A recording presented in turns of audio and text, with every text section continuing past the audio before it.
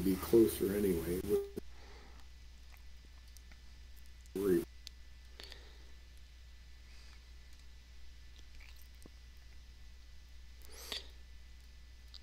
We'll give folks just about five minutes to show up before we start getting into it. But if people show up late, so be it. The, of the British units in the chat, uh, in the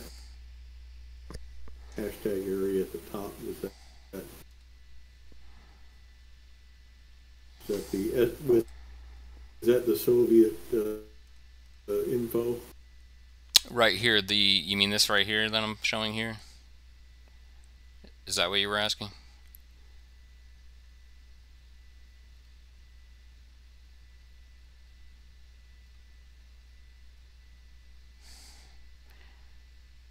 You're seeing my screen, right?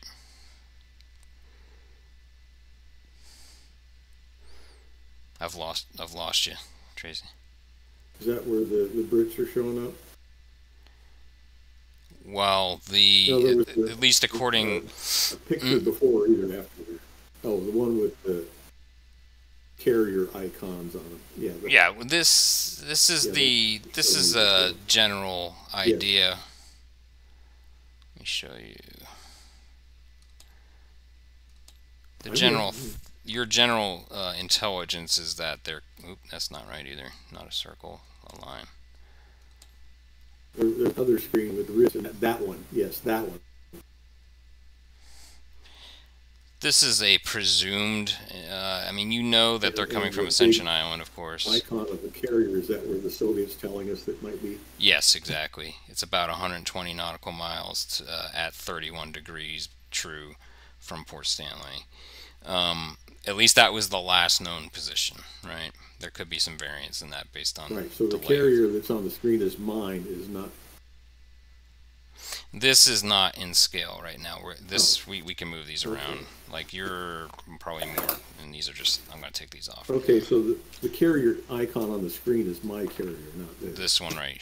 This is this is the 25th of May here. Oh, okay. And it's about at least according to the way I was depicting it on the other on the simplot map, it's about like maybe more like that. Okay. Um, San Luis is roughly here. Um, according to the intelligence, it had detected some destroyers in this area and uh, had some misfiring and so forth. Um, these are not exactly in this area. You, you, the intelligence is that you have up to six British submarines in the in the immediate in, in potentially in the area, right? And then you and they're known to have sent at least two nuclear um, uh, subsurface units into the area. So you don't know the exact positions of any of these units. Okay, you you are presuming that mm -hmm. there mm-hmm. are British uh, subsurface nuclear submarines operating in the area, right? Um, okay, yeah, so that's the my, my my frigates and destroyers. They they have ASW. Yes, they do. They all have sonar capability. Or, or, or, Let me show you on Simplot. It's probably a little lack of air. It's a little. It's a little easier to probably I show. they you. had lack of anti-air, so yeah. They, they must be concentrating on something else. I can show you what they have. Like, for example, let's go look at um, some of the task group 79.4, which is they are they're older French uh, A69 Corvettes. Now the the the one thing to notice is they do all have almost all have Exocet, which I think was not necessarily highlighted in a lot of history, right? They had a pretty a pretty mm -hmm. substantial offensive surface uh, capability. Um, which I think has has, has not really been heavily. They just have to contact the target. Right, exactly, and survive, and uh, so forth. Um, the one thing I will say about the French uh, A69s, which are the three um, corvettes in that one the one task group, is that they do not. They have really poor air radar too. Um, at least those units. Um, they're you know, their surface capability is still roughly similar to most other destroyers in the area. Now, the nice thing about the nice thing about these units is they're small, right? And um, as opposed to these task groups, at least as originally depicted, they have larger units as their as their high value assets, right? And these are Yes. these are more easily detectable, right? Um, as far as their Mhm. horizon, right? And we'll, we'll go through that a little bit. Let's take a closer look How at was the. countermeasures? Um, let's go take a look at some of these in the front, the A69s, real quick. I just wanted to remind myself what Because I recall something about the uh, Israelis in the '73 war. They had a they had a shorter range uh, missile, but they waited for the uh, the Syrians or the Egyptians to fire and just sucked it up and waited for them to miss, and then they got closer and fired. So I will point out that they had, they had All of- countermeasures. I mean, all of these units do have sonars, but I- I will point out that you have to get, um, especially. I see we have other players on. That's good. Hold on a second. Oh, we got a couple people. Hey, uh, hey, Steven, how are you doing? Hey, Ryan, how are you? You're both still muted if you're trying to talk.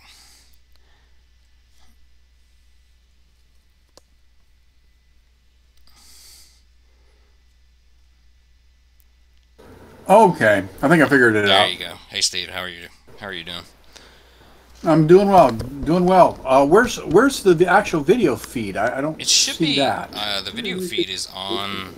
It's literally on the channel. So if you click, if you click on Falklands Malvinas uh, seminar room, and then ah, I found it. yeah, there you go. And it, if at any time, Okay, I got it. yeah, if at any time it goes missing, tell me, because sometimes sometimes Discord goes a little funky, and it kind of undo undoes it for some reason. All right.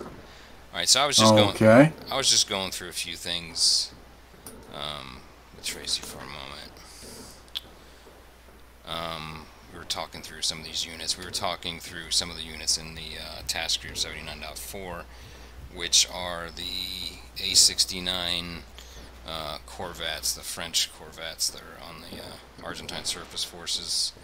Um, what I was trying to point out there, and this is very similar to most of the or actually both both forces sonar's capability is that you have to get very very close specifically with surface units. Um, now uh, the, the units that do have some of them do have um, helo capabilities with uh, ASW capabilities etc point those out as we as we attempt to use them etc Somebody has a train in the background. yeah, I hear that. I, I kind of, I don't know why, but I like that sound.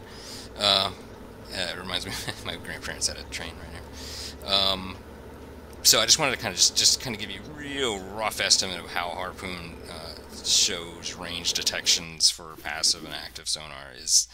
Uh, for passive, as you can see here, that's 1.1 nautical mile. You're gonna have to get pretty darn close, especially if you're if you're if you're running low, um, doing silent and running deep. Then it, it, it you uh, very very low probabilities of detection. So um, now the way the way I kind of depict ASW operations, um, as you can kind of see here, um, it's not a hard and fast rule, but what I do is I give a, a certain probability. Like for example, if the 20th of 25th of May uh, task group, as originally defined, if it gets within um, 18, 19, 20 mile, nautical miles, that's when I would start to roll to see if you are getting any detections, and that would be an indication of them using their their their helos. Um, but I, they also have, and probably their best asset, right, as far as ASW, as well as uh, surface search capabilities, are are their tracker uh, aircraft, right? Their fixed wing, their fixed wing launched aircraft. I think think they have four as depicted in this scenario. I need to go check that to make sure I'm saying that properly. Yeah, the S2 trackers. I think they had four on board. yeah. Uh, Yep. Yes, yes, yes. Here we go. Right there. Um, just I'll go. I'll start. Um, first of all, hello everybody. I should have introduced myself. Uh, Peter Robbins of.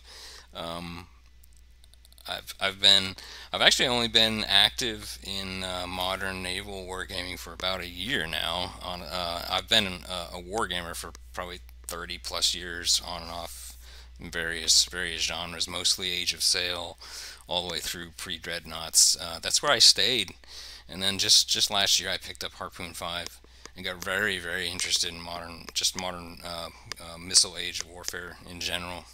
And I think I've I don't know kind of kind of fallen fallen for the topic um, as well. And and then if soon, of course, as soon as you as soon as you dip your feet into modern uh, naval wargaming, uh, the Falklands Malvinas conflict just kind of, of course, comes to the forefront as one of the one of the major conflicts in the past 40 years, and that's kind of where I that's that's my background.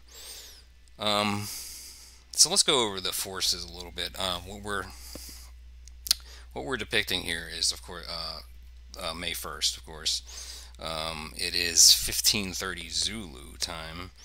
Um, of course, as, as you may know, the British went by the Zulu time clock, and uh, the Argentine forces actually were using the local time zone clocks for, for all their planning.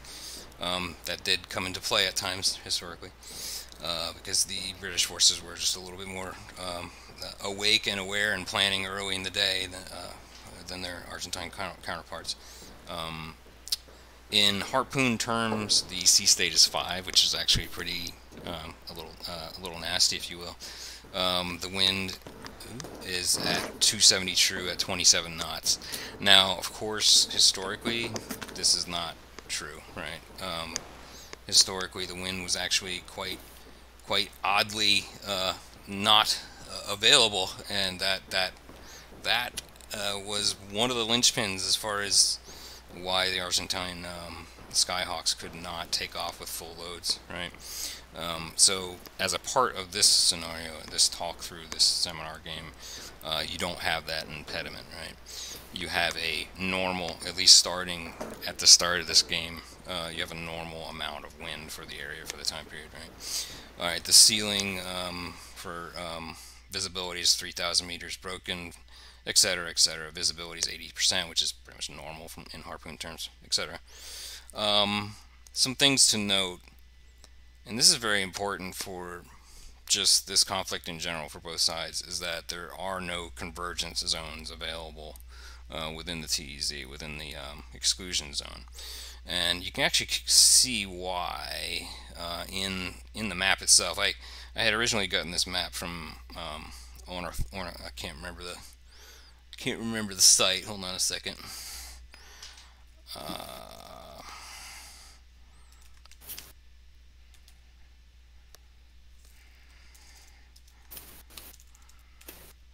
oh, I can't remember the terminology for this. Of course, now I don't.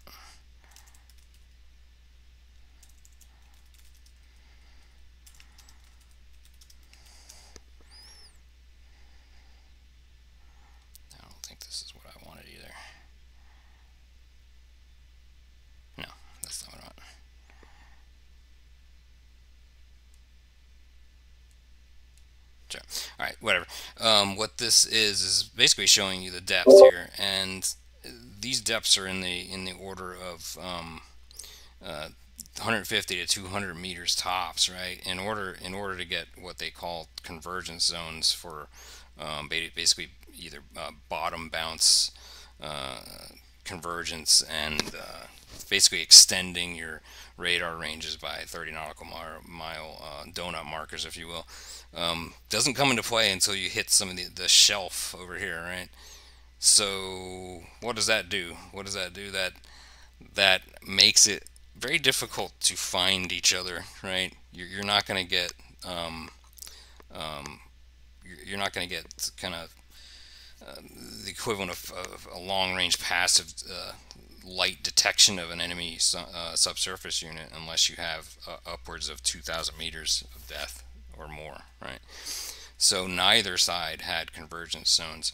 And what that also does is there's a lot of low, um, it's, it's low depth in, in general. So what that doesn't play very well to is the, the nuclear, the nuclear submarines, the attack subs of the British, right? So they have a difficult time using their normal tactics or they're using their um, you know North Atlantic tactics of going low, going very low, and, and going very fast, right?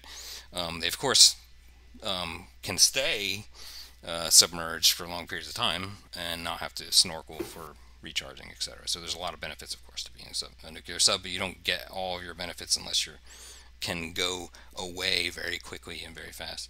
Which um, the nuclear subs were larger too, physically, right? So yeah, so pros and cons all throughout. Um, task force compositions. Let's go back over what you got. And again, this is the historical disposition, all right? And again, the plan here is to have have y'all um, very generally give orders, standing orders for you know, pretty much hours on end, standing orders of what you would like to do with these task groups, all right? And I'm going to help you throughout. Don't feel nervous about knowing all the capabilities, everything. I'm going to have to look up everything too, mostly. Um, I've played this several times through, and um, so, but even then, I don't know it all. Uh, so just just first things first. Um, I was going to give a little bit of flexibility. Tracy, you had kind of asked a bit about starting positions and so forth. I was going to give a little bit of flexibility on your starting positions. Um, I'm going to let you all talk now for for a start. Do you want to keep your task groups? Let's talk surface units first, okay? Would you like to keep your task groups intact in their historical starting uh, compositions, or did you want to combine any task groups? or at least keep them closer distance to one another.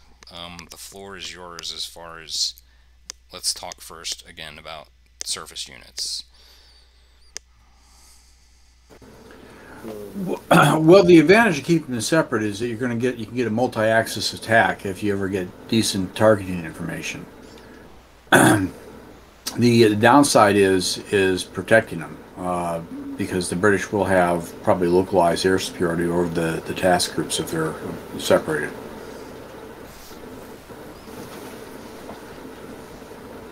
Okay. Um, um, very good, Steve. Tracy, you were trying to talk had, as well. I had proposed. Uh, yeah, I, can you hear me? Yep. Go ahead.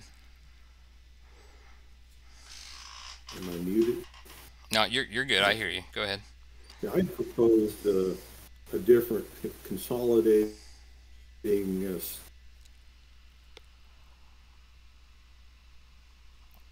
I propose consolidating 79.1 and 79.4.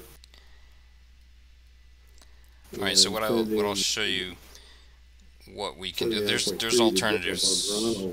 There's some alternatives to that. Let me let me show you what I can do within Simplot here too. To uh, Port Stanley with in noisy mode is bait and the consolidated force would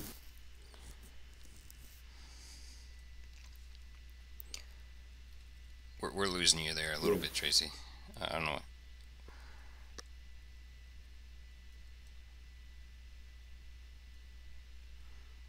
Uh, let me give the floor to uh, Gordon, Robert, or Ryan. Did you have any input you wanted to give as far as um, surface task group compositions or dispositions? Yeah, the, is, are the Brits being run by an AI, or is there another team that we don't? Um, no, I'm I'm running the Brits by by AI. Yeah, I've, I have is, I have standing are, are orders. Is the UK being run by AI, or is there? I'm running the UK via via standing orders. So.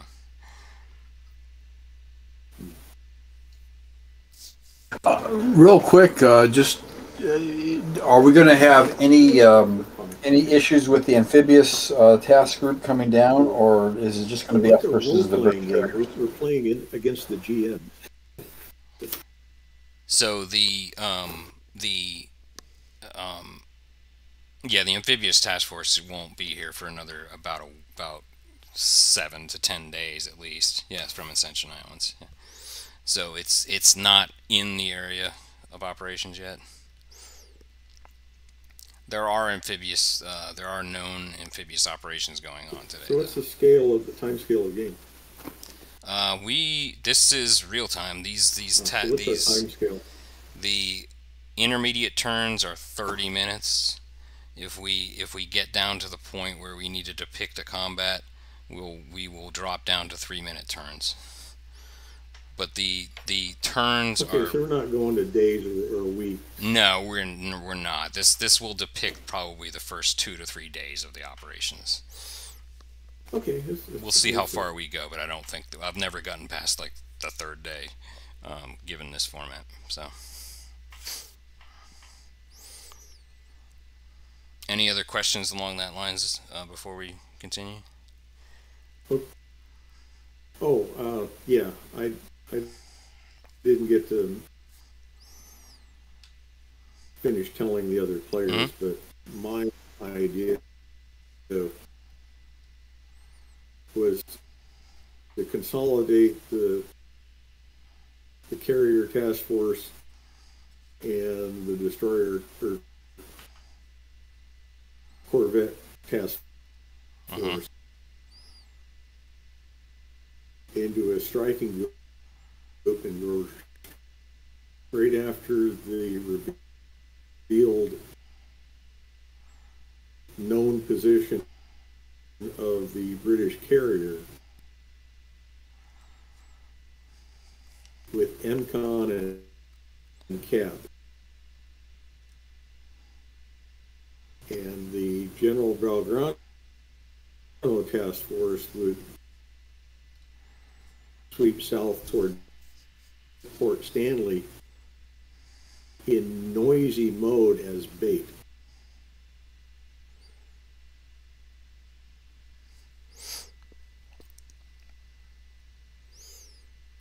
I'm okay with you. Um, if you wish to retask, the Brits would go after the bait and he would have a general idea where it comes. You can change the uh, disposition of the starting uh, point here as well within That was my reason. idea. Go back over.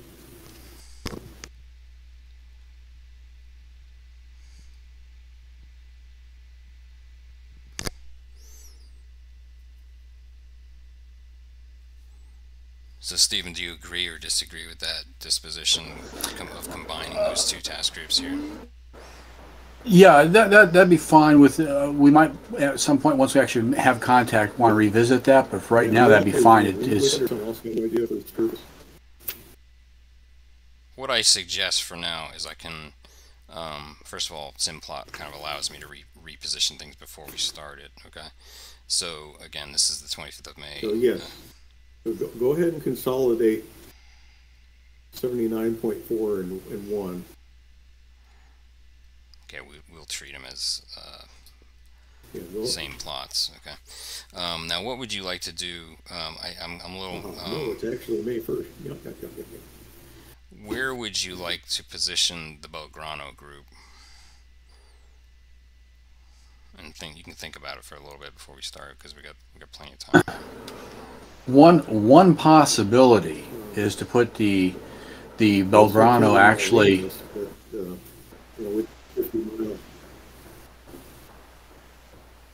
yeah, the, the, I like, the- I like the Belgrano a little bit closer to the Malvinas, and possibly we can actually put him in, in the Sound, where he can sh- quickly shift north or south and get, let's that multi-axis attack, but he's also somewhat protected from submarines in there. Interesting. So you're thinking even of taking them. Uh, so they'll obviously be coming probably from uh, from uh, from this area. I mean, yeah, I'm going to give a lot of leeway here as far as where you start. So the assumption is that the entire forces are starting from here.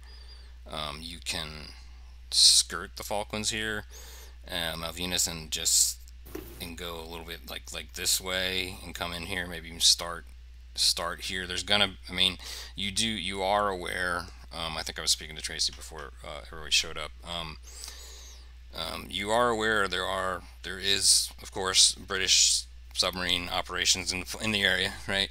Uh, you're not, you don't have exact intelligence. Uh, you do know that they could have up to six submarines in the operating area and/or approaching it.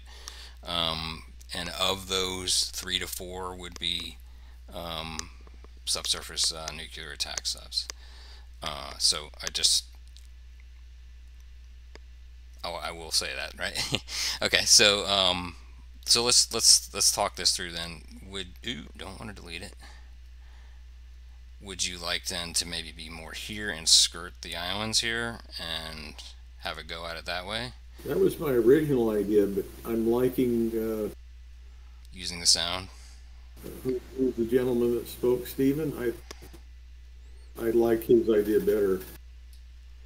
Now, the, the, the, the downside to the sound idea is that is that presumably they would be VID'd from Correct. observers on, on the sound, and so it might ease the British charging problem, and they could just sit, you know, a diesel boat outside the entrances, so and bottle you in.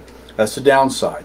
The upside is that you can quickly shift. Except for SAS, I don't think there are any ground forces on, on the island yet. All right, so right, but but it's it, it, without knowing without knowing the game and the, the, assumption, or theoretically it could be just civilians and, and radioing in via shortwave, you know. But but the, so, so these are these are things that I'm thinking about as a gamer. Yep. We can always reset to if something goes horribly wrong. I'm not against that either. so the whole point of this is to have a good well, conversation you know, about it. If, if, the game ends too early, I would relinquish command to someone else.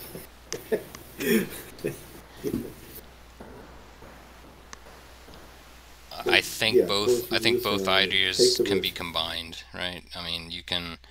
Um, now, are you saying that you're going to stay there, or that you're going to try to navigate the sound and. I, I think Stephen was. Yeah, the, the, link up with me. I think he wants to link up with me if he makes it through the sound. Well, what what we could do, what, what my idea is, is it's mostly protect a, a weak ASW, uh, force us weak on ASW from submarines, uh, with the idea that once we have a, a location for the British task group, sorting sorting out and attempting to do a multi-axis. It actually wouldn't link up with the carrier group at all. It'd be the, it, they have some surface to surface missiles on that task group, and the idea of getting a multi-axis threat uh, to the British. Uh, uh, ideally, we'd get two axes for surface surface missiles and one axis for, for air attack and do it simultaneous. Um, but in any case, until until such it would protect that that task. Group. Now we do risk being bottled up. Okay, and that's the downside of this of this idea. Mm, bottled up. Well, the Belgrano would be bottled up, but the the, 25th of May is still out in open waters. You would definitely distract them. Let's say that, right? You'd give them something to think about. I mean, That's another thing. So. Yeah, and, and the Belgrano, I, I thought would be in noisy mode, whereas the, uh, the, the May would try and be an incom with a cat. Yeah. Also, I was here at Now, now, just to yeah, what what it would also do is it was conserve the Belgrano's fuel because it's it's it's going to have. I'm not sure what the uh, what the the endurance is going to be at this point in the game, but the other thing we can do is we can mine. We can put anti-submarine mines outside, so to kind of keep the the British diesel boats at bay, at least a little bit further out, and that gives us a chance to do a high-speed breakout. Um, uh, so that's if we have mines in our inventory. It's cruising, it's a World War II cruiser, so it should have plenty of. Well, it's an old World War II cruiser. It had plenty of range. Well, that's depending how well it is maintained and how much and how much it went to sea with. So that's. Yeah. But, um, but in, in, any, in any case, it, would be moving slow in the sound, so it would it would definitely have probably range for a high speed run.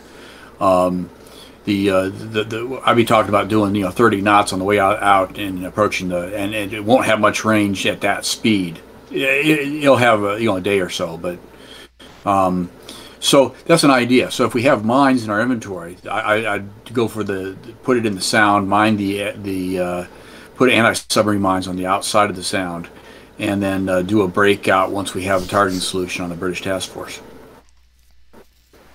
That's fine. If, if we have mines, lay them I'm agree with that. Yeah, they're not depicted in this scenario, but I, I'm, I'm more than willing to let you. I mean, they definitely had mines, and it was definitely a concern of the British uh, task force. So, yeah.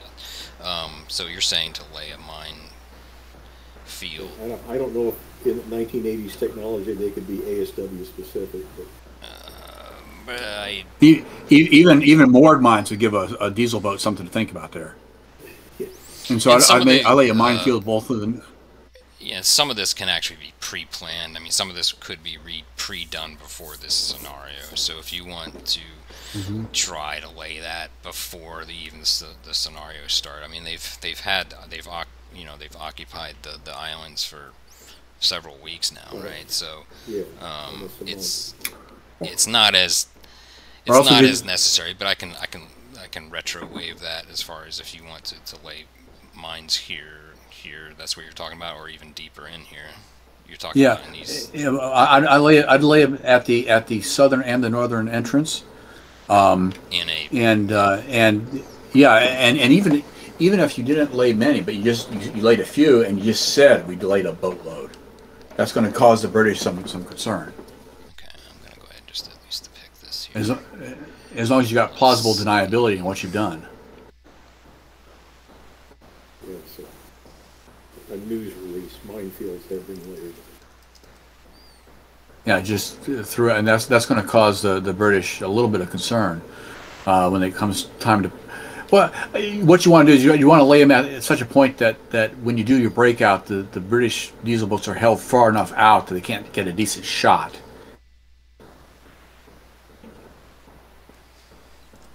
I'm just gonna be very generically. So it'd probably be, it'd will be a little bit further out, just because what we're trying to do is trying to keep Right the here. diesel boats, you know, twenty thousand yards, yeah, twenty thousand yards out or so. So you'll do a high speed breakout, and, and and they won't be able to get close enough at the time. So we'll gener- we'll generally uh, mark that for now. Okay. Uh, but about 20,000 yards out from each sound entrance, and obviously you all have Right, yeah. instructions on where those are, hopefully, so that you don't run into them. Yeah, right, and So that's fine. One of the players going to be the air boss and on the on the on the ground. Yeah, we can we can split On that up if you would forces? like. With um, I don't know if Gordon, we everybody- I mean, it's basically. I mean, Ryan and Gordon, did you want to take on a specific role, or are you just listening in?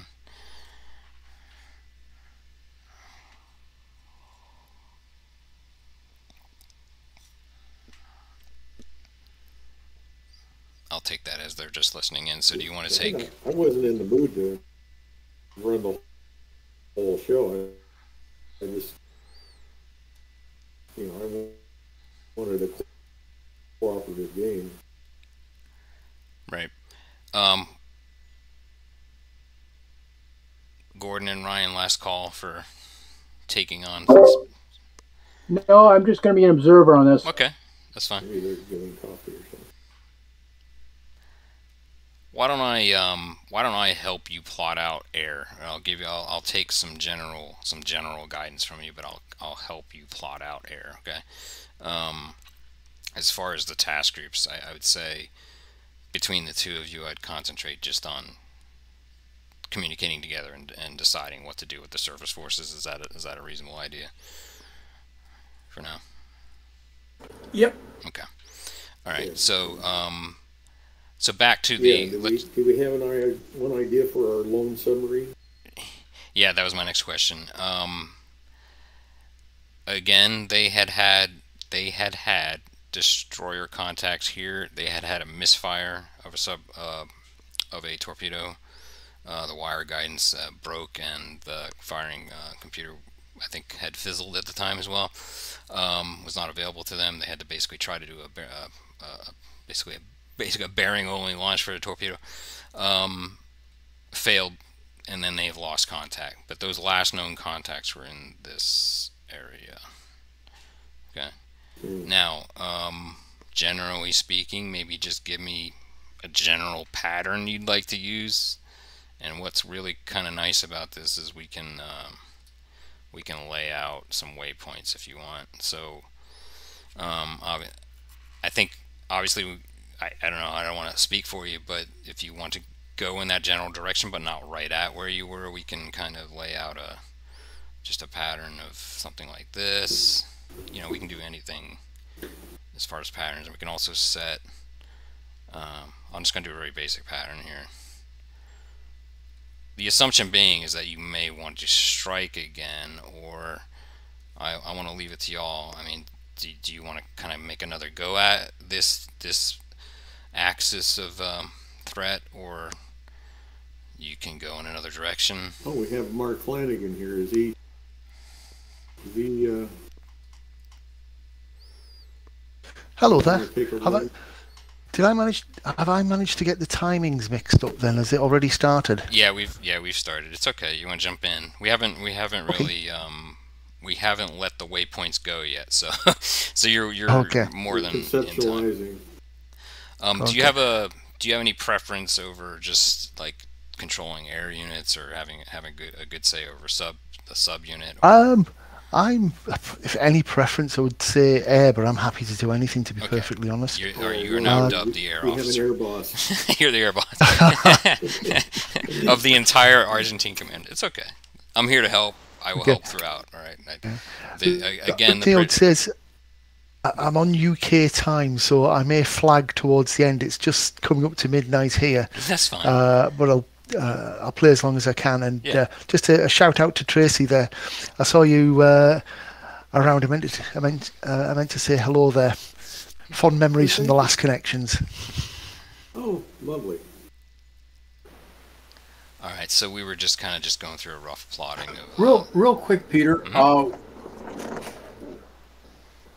Roughly, what is the air time, just for, for reference, uh, for the Canberras coming out of uh, that northern airfield? Uh, the what's way. the air time for that to say Port Stanley? Yeah, okay.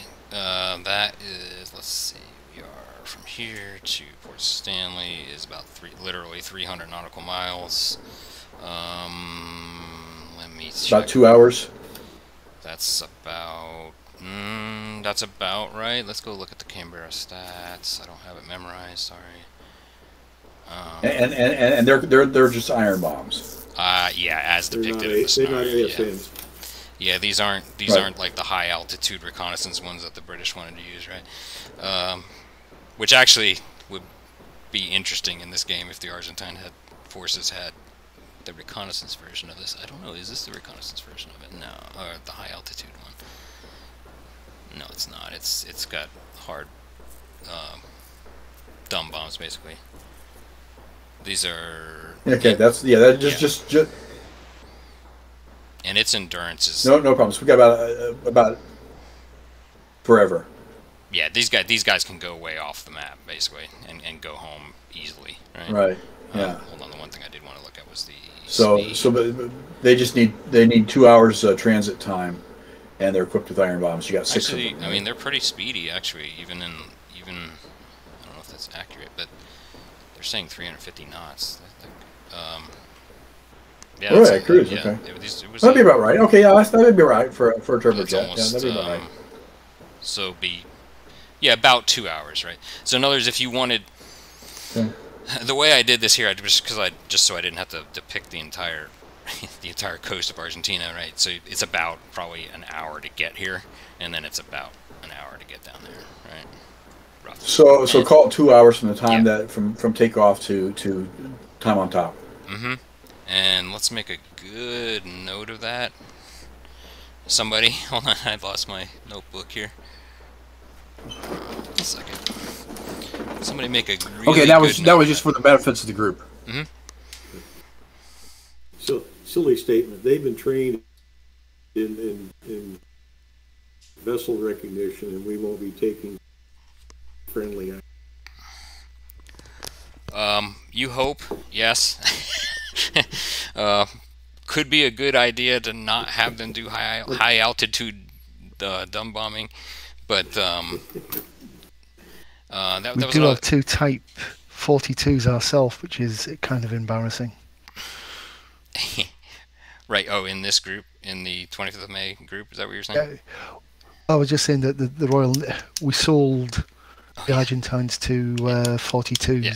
Yeah, those are in this this group right here. Um, All right, so we've depicted a little bit of this waypointing. Let me show you that this is actually really cool because it, um, this program will actually let you set the knots. Um, I'm gonna go ahead and just say that they're about uh, 50. Just just for the sake of uh, for the submarine, I'd, I'd recommend we keep it roughly 100 125 miles off of Port Stanley, and because the wind is coming from the west, right? Um, probably the Brits will be will be running just to, to catch the wind for their carriers. They'll probably be running uh, running as far to the east as they can for and then coming back to the west. So I, I actually moved the, the patrol box a little bit further to the east. this way. Right, just because they're going to be running as far as the east to, to, to lengthen the range from the land bases, and they'll be running to the west to, to catch the wind.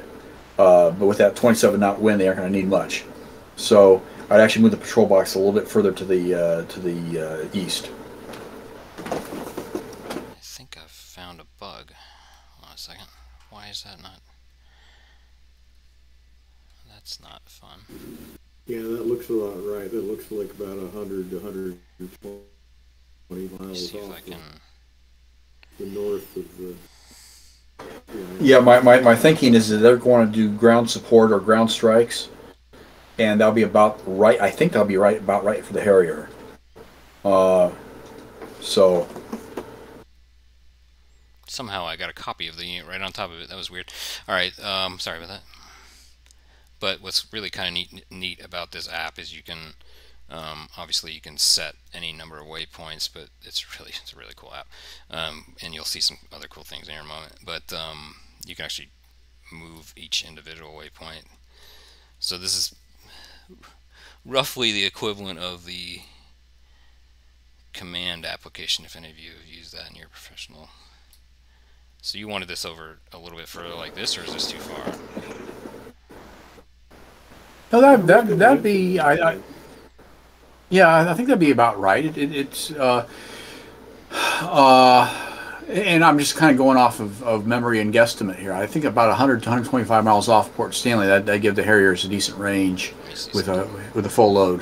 All right. So what we can do here as well is we can I can use this. This there's some nice functionality where I can. Um, this is a little closer than that. Do you want this more this way? Oh, well, that'd be a little closer. Yeah, I'd, I'd move it. I'd move it to the northeast then. Okay. Move the whole. Yeah. Yeah, that's fine. Is that a noisy diesel engine in the back?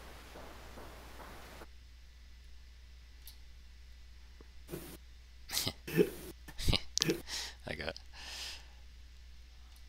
Is that a, a little bit better? Nice sound effect, I think.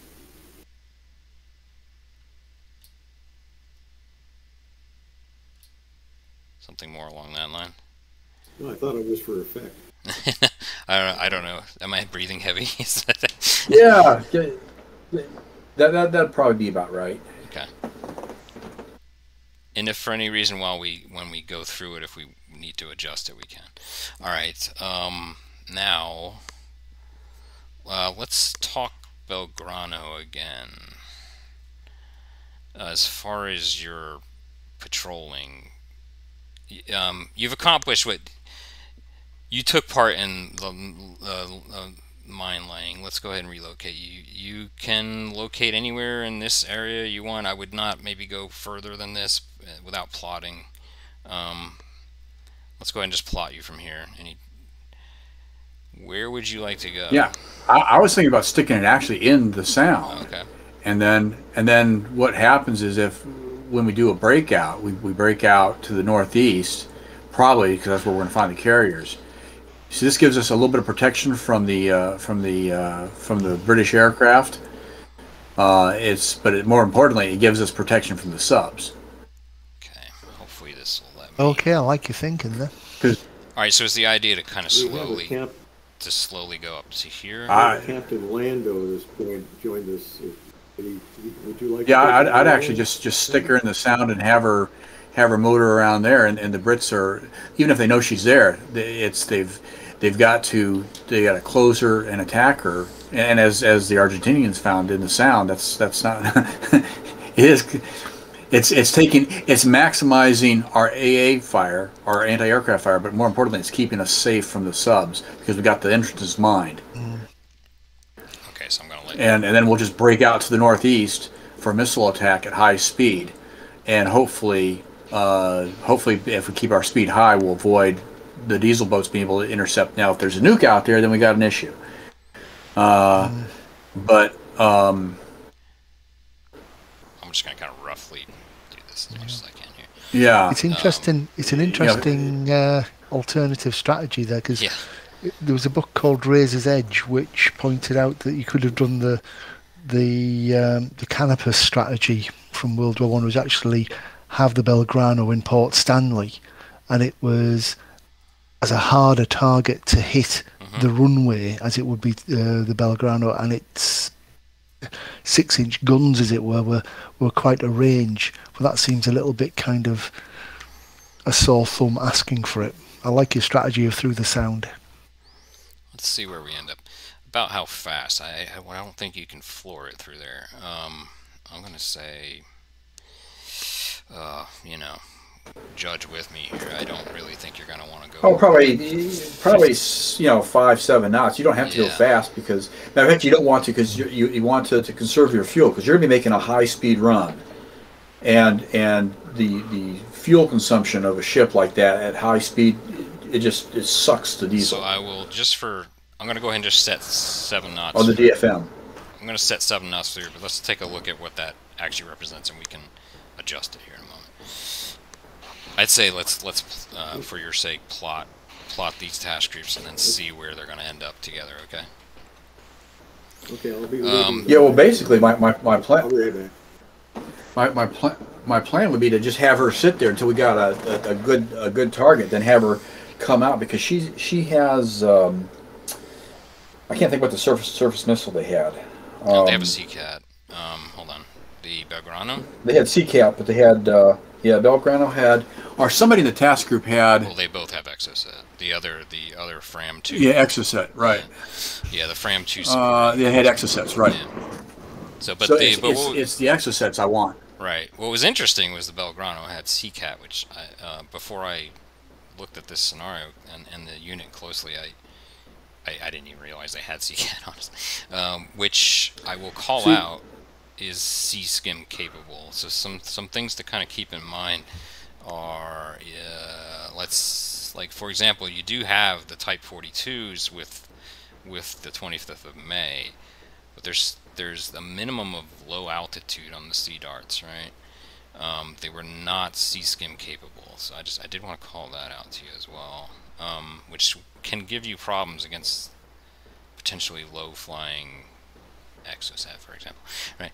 Um, and or low flying, um, very low flying uh, air units potentially. Um, anything else you want to look at here while I'm still here? Yeah, so- go ahead. No, kind of, kind of what my concept of operations is is is we'll we'll break off at once we get a good targeting solution, we'll break off the surface surface missile capable ships from the carrier group, and have the Belgrano make a high speed uh, run, while the Skyhawks uh, from the um, 25th. Carrier, Okay. and and if we could possibly get any land based air like the Canberra come in, so we got at least three axes going uh, on the Brits, and uh, and hopefully something will be hit. Now that's going to take a lot of coordination, and I don't know the Argentines are really capable of that.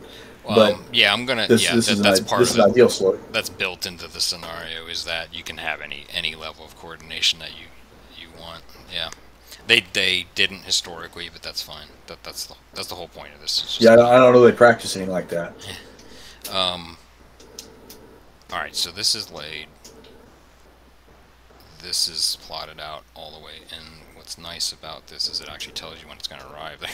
So the San Luis will arrive at its last waypoint on May 2nd, early morning, which actually is probably good, right? That's something to also th- consider as well, the visibility as you get to your final waypoints, and, and so on and so forth. Um, so that that I think is a good. And plot. and then she could just come up, and she can come up to, to communication depth at the end of that course and, and get new orders. Correct, absolutely. Um, and we will use that as a standing order if for some reason, if for some reason you want to stop me at any point and, and go to Periscope Depth and do it, that's fine. But that's that's probably a, as good a time as any to do it. It's early in the morning. Um, how Sorry, head would you like? How would you like to task these this combined task group here? Just in general, just uh, make a beeline for this area. Just come this way. You can do anything. Oh. I, I'm back. No, what, what Go ahead. what's the distance I'm there back. Is that directed- between between From here to to right, like here. to, to yeah to, to about where the end of the sub uh, just to give an idea that looks like about 200 Yeah, I can also. Does this? nautical miles Every once in a while, I can turn on the grid if that helps you at all. This this is. Oh, that's, This the scale is- scale's helpful, yes. You want that on there? Okay, that's fine. I didn't. I Okay. didn't, Yeah. I didn't know so if it too. we're looking about how many nautical miles? 143. Well, that's not. You know what? I actually even let's see. 143. That's gonna be five hours. That's gonna be four hours of steaming and mi- missile range at high speed. That's. I wouldn't have them go any further to the east. Because I want I want them to stay away from the British carriers to the extent they can until we have wanna- a. I'm gonna change. Well, until we have a colors fix. just a tiny bit. No, I, I, I wouldn't have the, the, the Argentinian carriers go any further to the east. Is that a that, better? that keeps them within land range. Um, and and once they, they get a once they get a, uh, a once we get a position on the British carriers, then we can talk about how to, how to steam. But I, I think that's far enough east for the carrier group right now. I wouldn't have them go go any further east. Okay, so do you want to make like a beeline to the north of San Luis? No, or- I, I'd, I'd, I'd, I'd, I'd just I'd go actually west. I'd go west and just kind of orbit at, at, at reasonably slow speed. I want to stay in that area, but I don't want to go any further to the east. you want to stay in this area. Yeah, or or to the west of that. Okay, let's Okay, uh, let me uh, because right now, let me uh, ask the floor. Do you agree, Tracy? Do you are you comfortable with that? so, so you're saying you don't want to, you don't want to go after using your surface-to-surface missiles? Because that was my no, no, for, until we have a target. Right, no, until we have a need to be in targeting solution. Right, Well, but, here's- but here's once thing, once though. we get once When you once say we get in range, targeting, then we'll have a target. yeah, you want a Right, detection. your, you're your asking, missile range right? is only like 25. I, I, Yeah, wa- I- exactly. I- I- yeah, I want a detection. Then we'll make the run. Okay, well we can see. If I don't can want get them. that. I don't want them So you're saying you just want more intel? because right right make a run. now, right. Here's the thing. Where I'm at right now, I'm probably not going to be detected by the British. Okay, he's not going to send out any. Probably, if he does, we can have talk because it'll be just MPA. Um, so I'm safe there. If I get a whole lot closer, I'm opening myself up. Once we get a, a detection, once we have a, a position that I can start moving ships towards, then yeah, then we'll make the high speed run. Okay, so I'm gonna I'm gonna point out a few things for Okay, as long as it's high speed. um, as far as surface detection capabilities of this unit. Let's go look at Belgrano. I think we still have it on here, but again, you the SS radar capabilities of these ships are not extraordinarily long. Um, so, for example, let's But I, I, I have trackers, and I should have. Yeah, exactly. Are there any exactly. Electras or anything like that out of? No, but you have plenty. You have trackers and you have helos, and you have you can even use Right. land land-based air units if you really wanted to uh, get get interesting with it as far as setting up long-range caps and So so that's forth. what I thought the Canberras could be used for, because Yeah, they're not much good for anything else. I did want to show I show mean, just, you. just like the old uh, Midway scenario where you had spotter planes flying about. this actually is probably this is probably relatively s- s- similar to other Is ships. too. the the 707 that was bugging the uh, Brits? Uh, no, not depicted in this scenario. I know exactly what you're talking about, but no. Yeah, they they bugged out after they uh, got buzzed by the Harrier, right? They've bugged out. No, no, I um, it's not available for this scenario. This is kind of like a simplified scenario, but uh, that's a good, it's a good suggestion.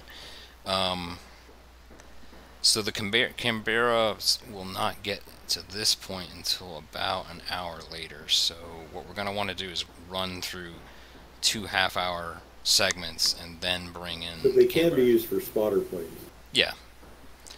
Um, let's go ahead and plot out What's yours. what, what Go ahead. what's radar on the Canberra like? Uh, let's take a look. The surface to the air to surface. I don't know if they had any of these. They did not have service. They So they're, they're using just eyeballs. As a matter of fact, yeah, it's totally eyeball. Mark one eyeball. Mhm. Okay. No countermeasures either. So what we need to do is we need we'll need to send up a tracker because they had a radar. Correct. I'll show you those now.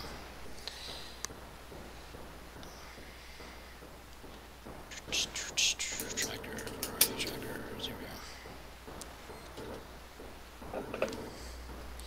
And they do.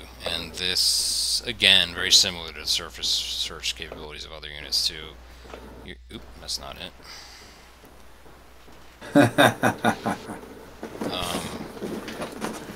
Yeah, so against even you know the largest targets on the the British task force are probably considered medium, right? So again, you're talking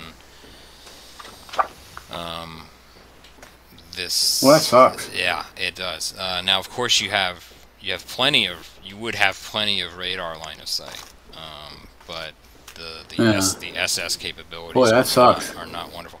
But you have four of them. Yeah. Um, Do we have a Yeah, Neptune? well, I'm going to need them because they're going to get shot down. You do not have a Neptune depicted in this Okay. scenario, no. Again, Yeah, they're going to It's get shot down. um, well, They, they got to They find would need to have too. Skyhawk escort.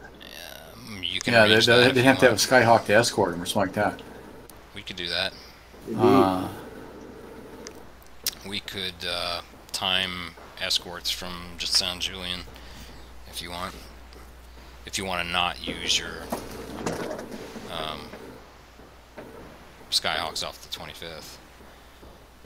Or, I mean, you could. I think the 25th, we that's our yeah, piece you- de resistance, those boys. Yeah, I feel like I feel like they're already loaded with um, they're already loaded with their full um, bonsai night, uh, as they called it. The snakes. They're they're are- ready yeah, to that's, go. that, well, So yeah, but we if you have want to do that because probably they're the ones who. all right, let's go ahead and Go ahead. in. Let me show you how you can do this. It's actually kind of neat too. You can import units here. We're gonna pull in from San Julian a Skyhawk unit. Um, what? Uh, how many escort would you like? Uh, you need at least two on a flight just to just to keep the Harriers off of them. Mm, You need a flight of two, a minimum flight of two. Because you only have yeah, the Harriers are going to come in pairs, aren't they? You only have eight to begin with. Yeah, and, and the whole idea is just to let the tracker get away. There's more than eight. There's 16 of them on this land base. So we're Oh, Well, plus the range on those is such that they aren't going to they're going to have much uh, orbit time. right. They do have refuel probes, which is something called as well. And you do. Do I have a refueling? Yes, you do have Do- case. You do, do I have, have tankers. tankers? Yep. All right. So, we sig- so I'm gonna I'm gonna lay out. mirages and, and the daggers. I'll lay out a suggestion. The Dagger is a very capable um, high altitude aircraft. That's the um, Israeli, basically the equivalent of the Israeli Mirage 5, I believe. Yeah. Oh, I, th- I was thinking of an old F one hundred two. Sorry. Yeah, no, these these daggers are basically it's an it's a different name for the Israeli Mirage Five, so they're actually they're better than the Mirage Threes down here in Rio. Really? Yeah, maybe use the maybe use the daggers. What are they? Are they equipped with uh, sidewinders? I do not think so, but let's take a look. Um, you know what? I keep doing this. I need to just sorry, I need to make a shortcut to this one right here. I keep going to it. Yee da da da. Well, by the way, um, Mark, I, I did take the trouble of uh, opening a, a never before refrigerated Boddington pub ale in, in recognition of your presence. Excellent. They have pretty capable uh, air-to-air. They're Shafrirs. They're the Israeli. Uh, it's basically the Israeli equivalent of an AIM-9. Um, it's infrared. It has an infrared uh, homing device. It's first gen, so it's the equivalent. Of, Yeah, that that that'd be a better. Yeah, a flight of two of those, and then and then have air day refueling uh, west of the task force. Okay. Um, I'm actually going to get out of this. I'm not going to use this right now. My memory's getting leaked from that. All right, sorry. Um, tabletop simulator is wonderful and all, but it does it's just a little bit cumbersome, and we're going to plot them here anyway. So, all right. I like the dagger combination in the area that you're fighting there because you'll be high altitude. The missile that they have is twice can fire twice as uh, the range of the Sidewinder, which should put the Harrier at a disadvantage. Over the Malvinas, it was different. Over the Falklands, it was different. So what I'm going to do, I'm going to allow you to re. Where would you like to reposition your northern tanker? You have two tankers, uh, two KC-130. I think they're H's. Um, so I was thinking, just for just you know, just you want it like right about here, so you can reuse it for other units as well. Just you tell me what you want. yeah, that'd be that'd be fine. Something like about that, and let's see how much that is. That's what I mean. What they Yeah. what they historically would do is they would camp the tankers right outside the the, the exclusion zone. If you've ever seen maps of what they were doing, and Mhm. the uh, the Super Étendards that um, you know did the Sheffield attack, they actually refueled within about 150 nautical miles. If you if you've ever seen kind of like plot points of what they did, I'll, I'll show you a couple things here in a minute. But um, yeah, so we can do that, and honestly, well, you kind of still want them kind of here if you want. We, 'em. we don't need their tanker. Just yeah, the, the the whole idea of this tanker is just to, to, to stay airborne and refuel the, the cap of the trackers until we get a targeting or Right, a, but I- detection. I kind of want to let you decide where you want their station to be, right? Where where would you like their station to be? Is this okay for you? Yeah, that, that uh, that'd be approximately correct. I think that'd, that'd be fine. I mean, we can always move the station. Yeah, you can always make Yeah. a move. I just wanted to give you at least a free move, if you will. All right. Um, Okay. okay, so for timing's sake, I'm not gonna. For timing's sake, these daggers are taking off at the appropriate. Just, just it's gonna be hard for me to compute in my head when they're gonna meet these guys. So the intention is that you're gonna meet right about here, correct? Or right. at that uh, and, and then uh, I tell you what, I and might them in and I'm gonna I'm gonna actually relocate them right here. The uh, just for quick simulation's sake, you're not gonna get taken down by any Harriers next to your coast. Okay. All right. So Yeah, then, no, I'm um, not there, so. I'm going to put your I'm gonna put your Canberras here, but they're not gonna move until the hour mark. Okay. Just just so we don't forget them. Mm -hmm. Okay. Uh, as a matter of fact, I should be. and and we'll probably I would I recommend we launch it uh, just because if those are our eyeball if those Canberras are using their eyeballs we may want to have a at the same time a, a tracker up just to use his radar it's it's better than an eyeball And how many Canberra did you want?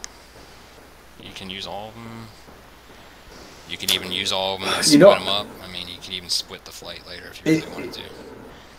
I, I would actually split the flight and here's why because even if even if they're ineffective as as, as an anti-ship platform still having a, a, a multi-axis threat coming from that direction is going to require the British to respond Yeah, you're basically giving them targets.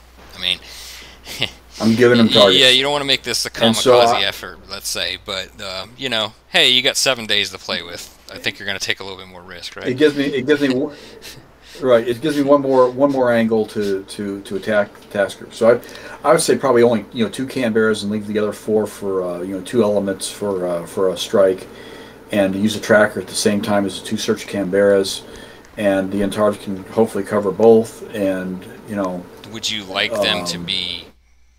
Let's see where. Okay, let's talk timing here a little bit. You're at 1:30 GMT on day one.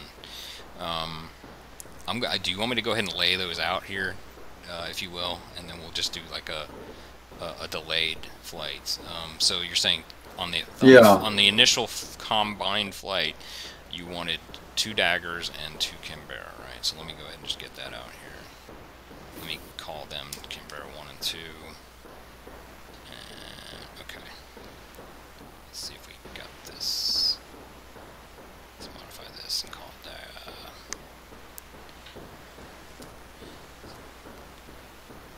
Okay. Call sign. so you got two Canberra and the Skyhawk. This is basically one combined uh, sortie.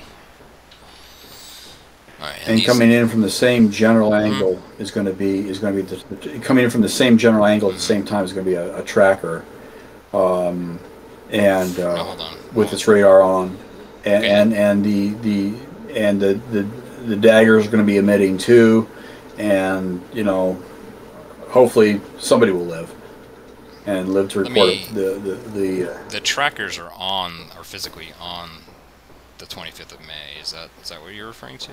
Yeah, one's one's gonna have to one's gonna have to take off and and and try to do uh, and try to do a uh, at the same time as the Canberras to try because somebody they're they're gonna take some losses.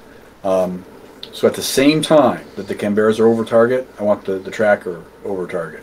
Okay, so hour, uh, an hour from now, these guys are meeting here and then starting to move, and then that's probably Right. we'll have to just stop time. We might even just do three minute increments to make it work at that point. Um, let us, and at, so I think we're safe to do two tactical turns. These task groups are not going to move for an hour. Is that correct? Bas- Basically, they're gonna be mod locked. Essentially, Okay, they're so, mod locked. so let's do let's do this as um, harpoon tact uh, intermediate turns. Excuse me. So what's going to happen and what you will see here um, is uh, what's actually what's pretty cool about this is that I could I, I could do it as a real time a real time run of this, but um, I'm going to do it instantly instead, right? So it's actually like a real time real uh, uh, in, a play playback, if you will. But let's just advance time. And what this will do is this is actually going to advance the sub, and it's So we're to. actually starting the, uh, the event at this moment. All right, so before before I let time go, right? Before we continue in actual game time, do you want me to adjust anything before we before we let it go? I think we pretty much had it set. Okay. The air boss had, now I was away for a few moments, and I, I'm sure the air boss had set his uh, land aircraft to do tasks.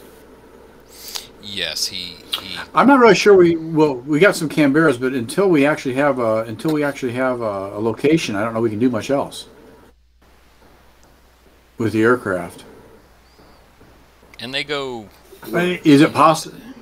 Is it possible to relocate some Skyhawks from Port Stanley, or is that not allowed? Mm, no, they, they, the airfield is not long Okay. enough to support them. I mean, what you can do, I mean, I'll just give you some hints here. I mean, what you could do is kind of get a few flights up, a couple flights up, just on point near the near your stations. But then again, do you potentially want to give away where your stations are at? You, you know, you know, So, um, I mean, we could, Yeah. you could go ahead and get some flights out for for further tasking. I mean, we could put a cap. We, we could put a cap over uh, over the aircraft carrier.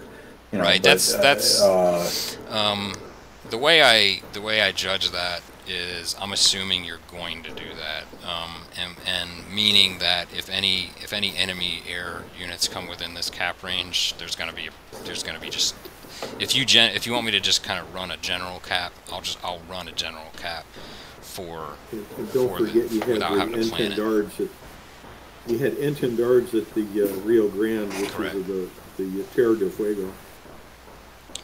Correct, and obviously the, these uh, are powerful. You do want to know where they're at before you task that. I would say Right. just as a We, we Right. want to make sure everyone's aware. Yeah, and you have now- a now pretty good here- amount of here- forces. As far over as. EMCON policy, go ahead. yeah. As far as EMCON policy, um, uh, what do people suggest? I, I would uh, I would suggest. Um, Uh, I wanted, I, I originally stated I wanted the 25th of May to be an EMCON, but the General Belgrano could be noisy because to attract itself as a tar- as bait.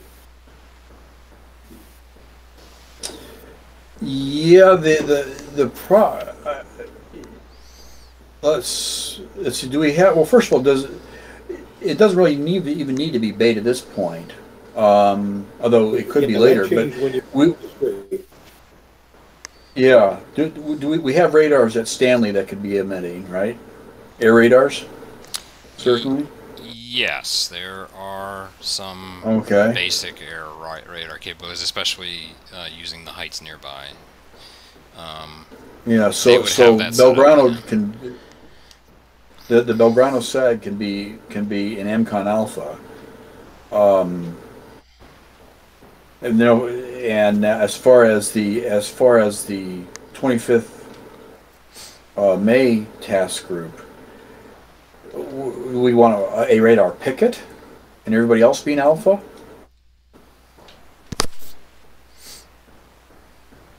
there's a fram there's a fram there right that in That this we in could this task expand group, if need be. think. yeah And, yeah, there's a Fram I was too. thinking, He's I was thinking of EMCON and, and you doing, being passive.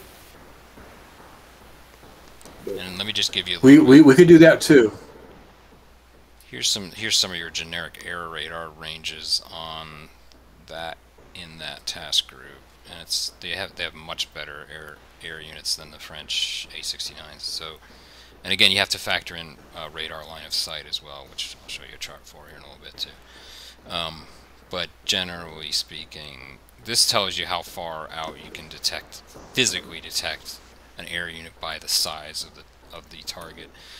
Again, you have to keep you have to keep in mind the um, um, air radar line of sight. Let me get that for you. I actually have that in here. Give me one second.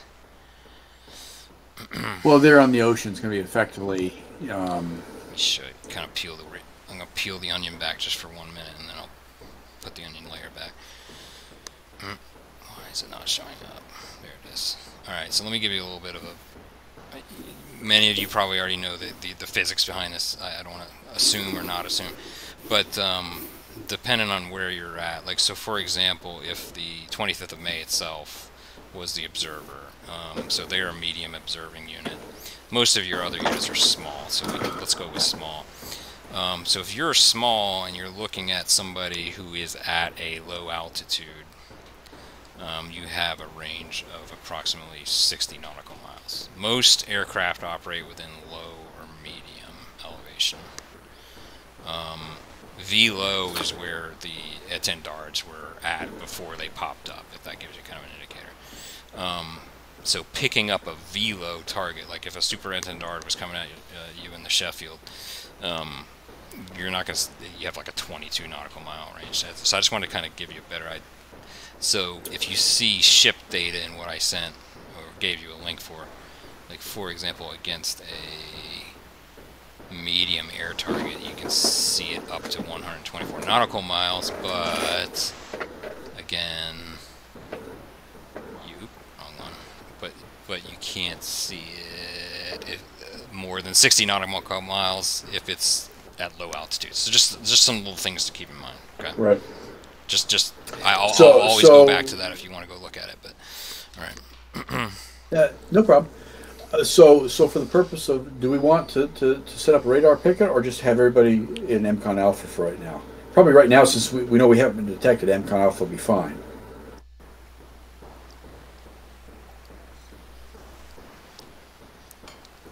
So which ships are going active? Uh, no, no, EMCON Alpha would be everybody's quiet. Okay, that's fine.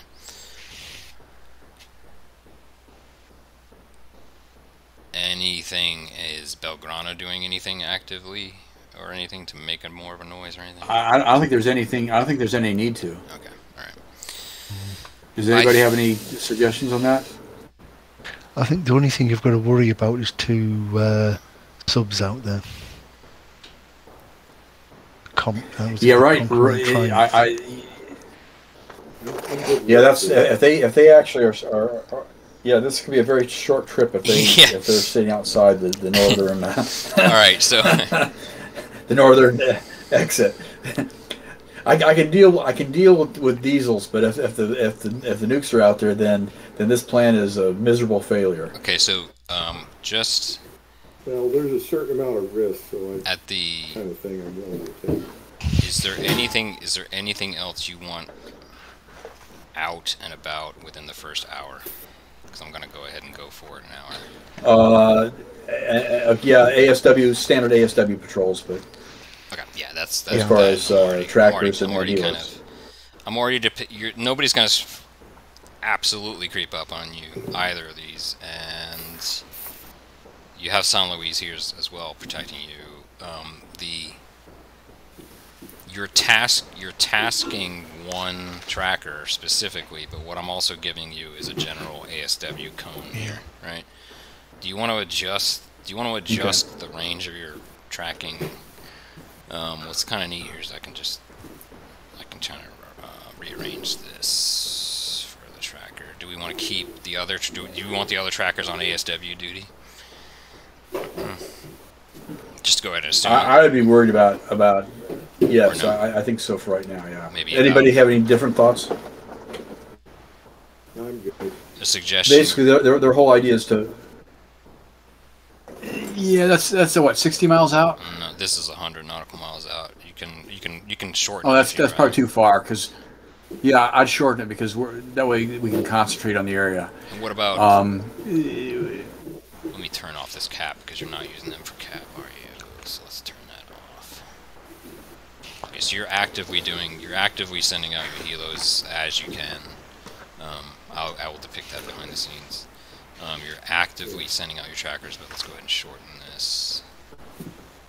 Other than the Yeah, one, so they the, can the one tractor, the one tracker you're act, you're, you're providing waypoints to. But, okay. The- The problem with carrier cap is you need some, you need some, uh, FM, at least some FM radio to, to, to land and take off your aircraft. So that would take out, of EMCON.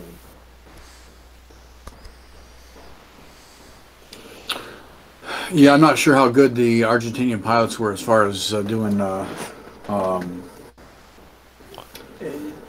You know, and then I don't know. I, they, they don't, I don't know if they were able to do it without uh, and still remain an EMCON. Okay. Um, so another thing about the blindness of this, I think, uh, just timing wise, or just just game time wise, at about uh, the half hour mark here, I'm gonna remove the blinders. Um, but and just for the sake of time, because we have about an hour left, right? so I don't. Um, I didn't expect you us to get about an hour extraordinarily long in this, but. Um, about 7:30 or so, I will unblind it and kind of give you an idea where things are at. But but what we'll do at that point is we'll Okay. we'll what we'll do is we'll we'll judge it based on you not knowing they're there. You know what I'm saying? So we're gonna mutually judge it at that point. I just kind of want to get have you get a feel for where they're at, and we'll, we'll go. I just don't want to run out of time. All right. Um, I think you have a good plan. Um, it's uh, I don't think I've ever heard anybody. I, I, I remember having this thought once, but this is the first time I've had a player do this, and I'm, I'm very interested to see what happens here. Um, all right, so I'm going to go ahead and just put it an hour forward so that we can start moving things. All right, so okay, that is an hour of movement. Not much. These guys are staying put. These guys are making their way here. That's a half an hour. Uh, we're going to do another one. You can see, they're moving through. It takes a while, right? Um, at this point, we are we are judging that the these air units can start to be moved. Correct. At I think that it will take. We'll see how long it's going to take, but you wanted one of your trackers to basically take off as these guys were moving past. Is that correct? I just want to make sure. I, Pretty much, right, right, and and the tracker will hopefully with its radar be able to. That's just a tough target to see in with with eyeballs. So, um, so uh, I think having the tracker up and pretty much the same, the coming in at the coming in with its radar. Well, the idea is they'll both divert the Harriers, but it also has the best chance of seeing anybody and getting at least a, a general position before it gets shot down. okay. Um, so let's go ahead and plot these to, to this point, and we'll see what time it gets to be. Um, this is the Canberra, which is 360 knots, I believe. We just wanted them to Do make we- a beeline this way. Is that right? Peter, do we have any Yeah, pretty things much. like a, a, a seeking out of Stanley that could be on a recon? Um, no, not prov- not as provided in the scenario. No. Okay. One thing the Argentines did not do was uh, put out a forward operating base on. Now you do have Sea Sea Kings. You do have Sea Kings on the 25th, and I I will show you that in a moment. In case you want to, in case you want to retrate, re, re um, task individual ASW helicopters for AS for air search potential. That is that is a viable option too. Okay. But I don't think like- they're going to have the legs at that range. Uh, I think they should be looking for subs. Yeah. Otherwise, every time you do that, I'm gonna make that circle smaller. Is the way I, is that, that's how that. That's generally how that would be. All right. So you want this unit to come here. Is this generally accurate? Where do you want them to end up? This the Canberra Skyhawk. Um, uh, I would actually want them to be kind of tracking now, pretty much due west. Uh, correction, correction, due east. What about like that, or even from there, just like this? Yeah, about about like that, about like that. Yeah. Let's see where we're at here time wise. These guys are going. We're obviously going to go at the speed of the Canberra. Uh, I'm not gonna. Let's just say uh, which which altitude band do you wish to be in? Um, again, um, let's see. I can't even remember the exact. I, let's see, ten thousand feet. You said you said So about Put it at- uh, three thousand meters. Yeah, about 3,000 meters. Yeah, about 3,000 meters. So they got a good. Or they would be descending to 3,000 meters as they got in Right. the Yeah. search area. Exactly. We're not gonna get hair splitting on it. You need something to be able to visually recognize the target. Well, once once they they would then you know descend further to to VID. Right. Let's go ahead. if they live that long. Indeed.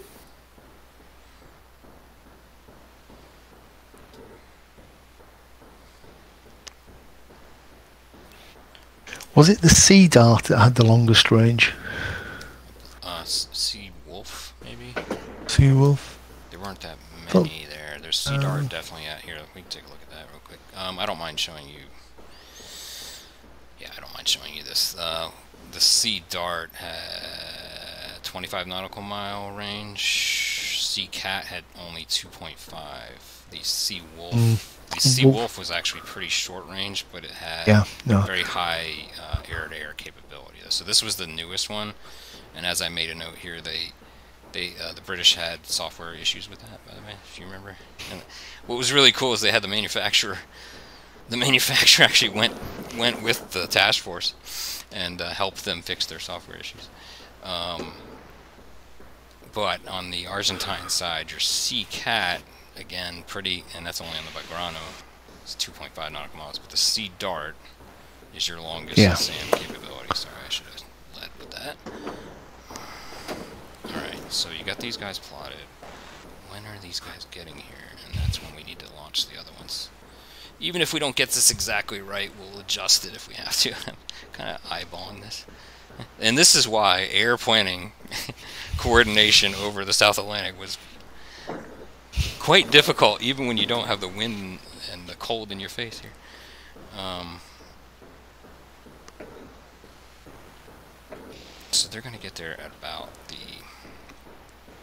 I don't. That actually works out pretty well. They're going to get there at about the next half hour mark. So that's that's when I'll do it. All right. Let's do this by. And by the way, this kind of coordination in this in this era would have been almost impossible. I mean, even for a Western force, because it would have been very difficult to do this kind of coordination. And this is. Let me show you.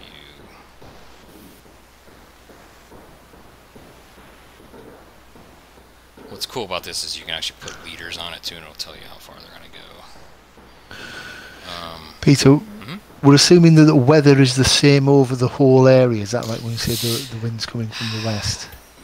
yes. Going to the west, rather. Let's take a look at the scenario real quick.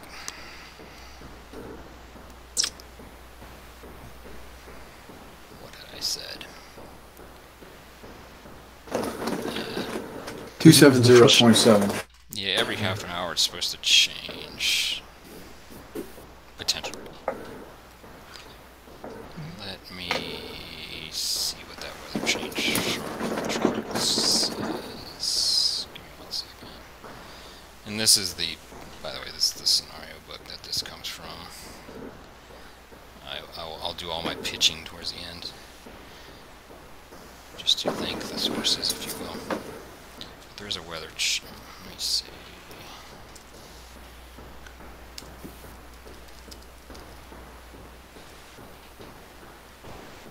Here we go. They say to do it every hour. Oh, right, so it can be becalmed. Yeah. Key for observed weather. What's really cool is that this this has the exact weather for every day. For the, this is a really good resource, by the way. I'll, I'll, I'll plug it later and give you. But it has the exact weather for the entire conflict. All right. Um,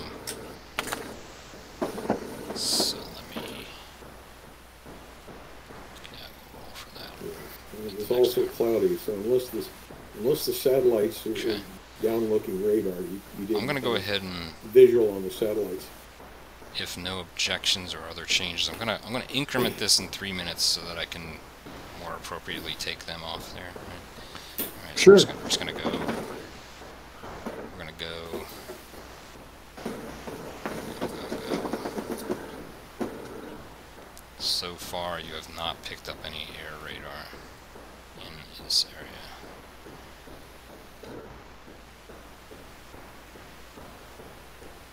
I think we're about to the point where you probably take off, right? So we're at about 14, Yeah, about now. We're about 1454 on May 1st. Um, your tracker will now take off here.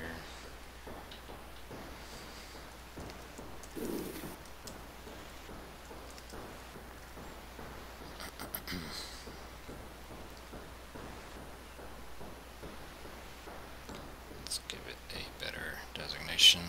Da da da da da da.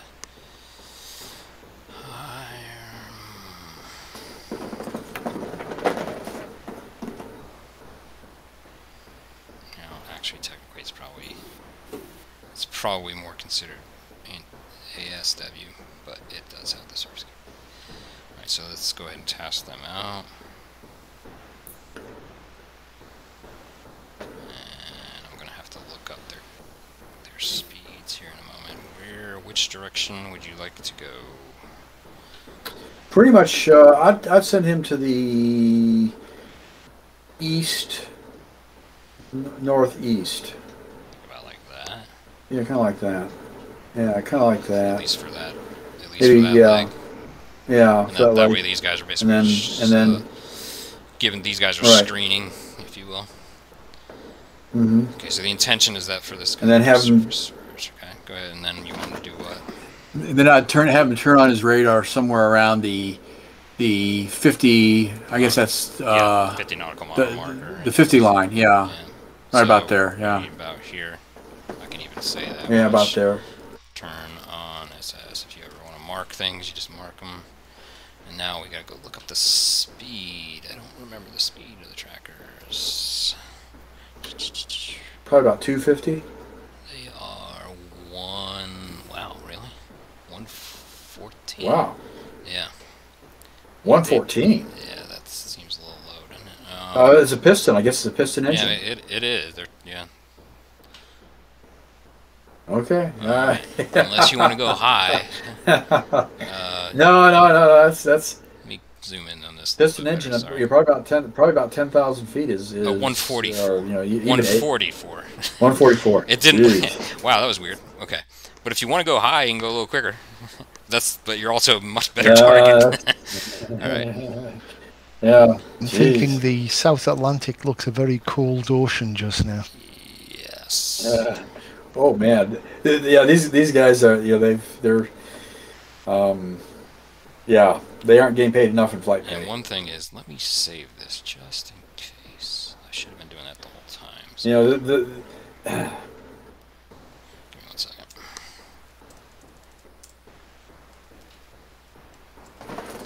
I mean 140. That's that's not. I mean that's faster than a World War One fighter, but not by much. They're they're large and they have a bunch of equipment on them.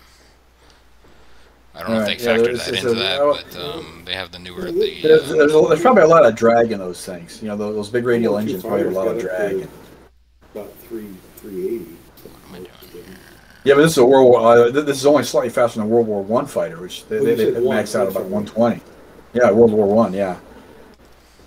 Yeah, it's it's like yeah, you're faster than, but not by much. So we'll see that. We can adjust. We can adjust things. Why don't we? Why don't we keep going three minutes? All right. Okay. Just before At before I better than World War One. They had a. I think World War One planes had. All right, so I need to single I need to make an adjustment. Um, actually, after two more minutes, I need to make some adjustments on the blue side here in a moment, based on what schedule I gave myself. All right, so three. Da, da, da, da. All right, so we're just gonna go three minutes. Look a little closer at what's going on. These guys are gonna go much quicker, as you can see the white leader lines right here. Uh, let's keep going. These guys are speeding over. What's really cool is this will automatically update. As you can see, beautiful, beautiful, beautiful. Okay, just again, if you ever want me to stop and change anything or start things moving or bring anything else up, yell, alright? Alright, so we're going, we're going, we're going. At this point, I'm going to just I'm going to. I need to plot something on the blue side real quick. I'm gonna stop sharing just for a moment. How do I stop that? Why is that? Oh, let me stop sharing just. The only thing I was thinking we could do is actually put the Skyhawks and the Canberra to go north ahead of the slow tracker, just to make sure if there's anything there, we pick it up first. Because I like the idea of the tracker when it lights up the radar, giving us a big spread, whereas the Canberra and the Skyhawks are more kind of ins if we find things. Yeah, the, actually, the tracker radar is only like 18 miles. I mean, it's nothing. it's surprisingly bad. I was, I was getting I was inadvertently excited then. Yes, I was. I, I mean, a P three, you know, a, a, a Navy P three would have lit up the whole area. You know, and it's like it's like you know, two hundred miles. Uh, this this, and I was, I, I, I, I thought, well, maybe not two hundred miles, but you know, hey, give me, give me fifty. You know? Eighteen. It's Yeah, that, I mean, on, on the British side as well, the lack of an AWAC equivalent yes, was really absolutely. hurting them, Yes. and by the end of the conflict, they'd ad hoced radar into a Sea King to be a pretend AWAC, uh, just on the basis of the they just needed it. It was it the Searchwater. Oh man, yeah, this is. Yeah, the the uh, I'm just I'm I I thought this. I mean, I truly thought it was going to be better than 18 miles. I mean, that's that. Look, that's better than the eyeball, but not a whole lot. No, it's not. You know? I mean, obviously, I depict Shorter can get certain things better, but than, than the uh, Exocets. just bear with me as I play. Yeah. There's, there's a couple scheduled planned things. No, here. no, no problem. No problem. So, And um, pretty much at this uh, point, I'm going to open things up here in a moment after I plan these Okay. couple things. But And so, uh, everybody who's who's on, what do y'all do in the real world? Living in retirement. Oh, nice. I'm a software uh, person in the NHS in very uh, National Health Service. Oh, okay. I, I design systems. Okay. Okay. the last year has been Uh, keeping you I'm- busy. I'm retired too. or not. Not hope, but sorry. I'm just here to hope that Yeah. someone finds me useful. Yeah, I, I'm. I, uh, yeah, I'm. I'm retired. Um, uh, former, actually, former Navy. Um, Me too. um, so uh, chat. I'm sorry. What? Check my award on the chat. Yeah. I, I was actually a participant in Oh, you were. Yes, yes. That's, that's, that's what Where, where were you at?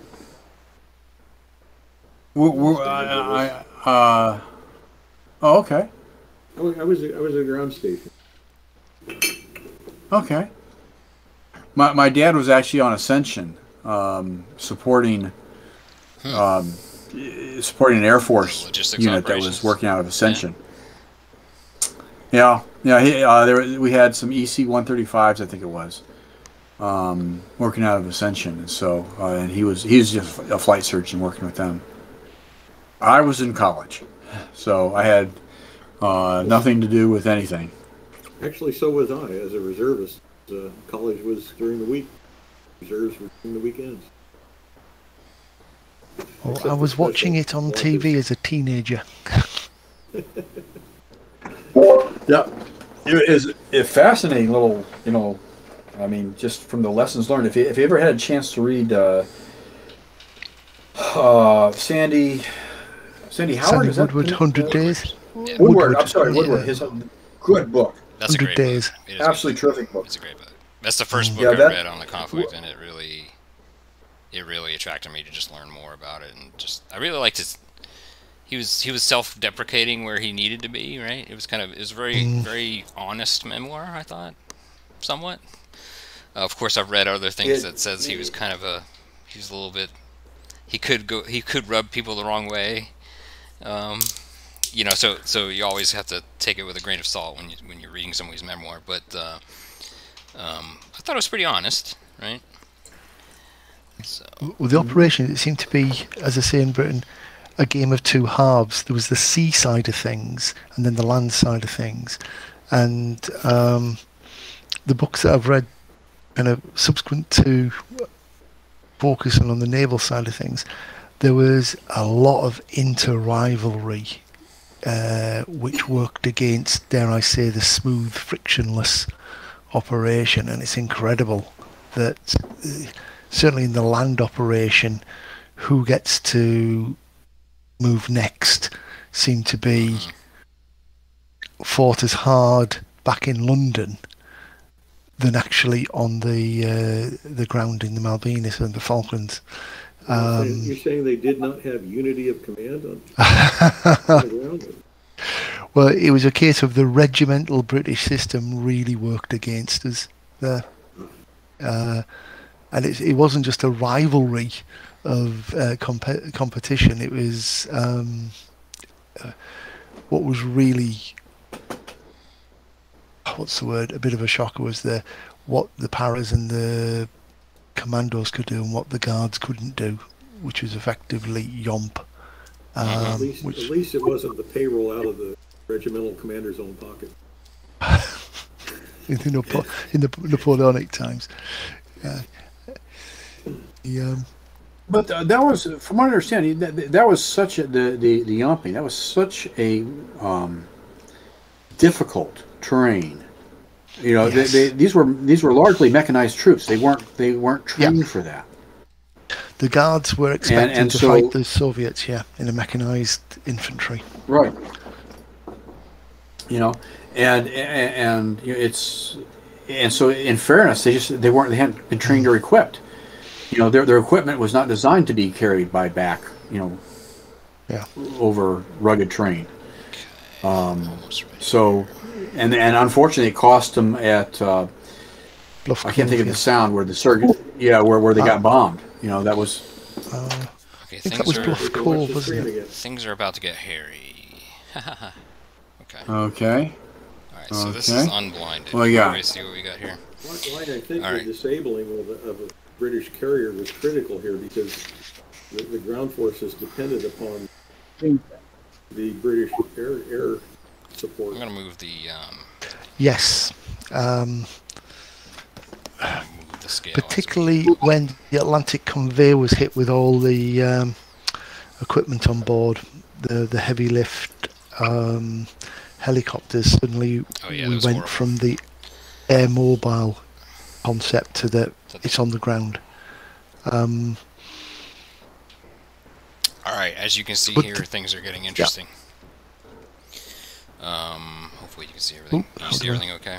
I've, I've unblinded us because we're getting about to about 7:45 now. I, I knew we were gonna run out of time, but it's Okay. okay. This is fun.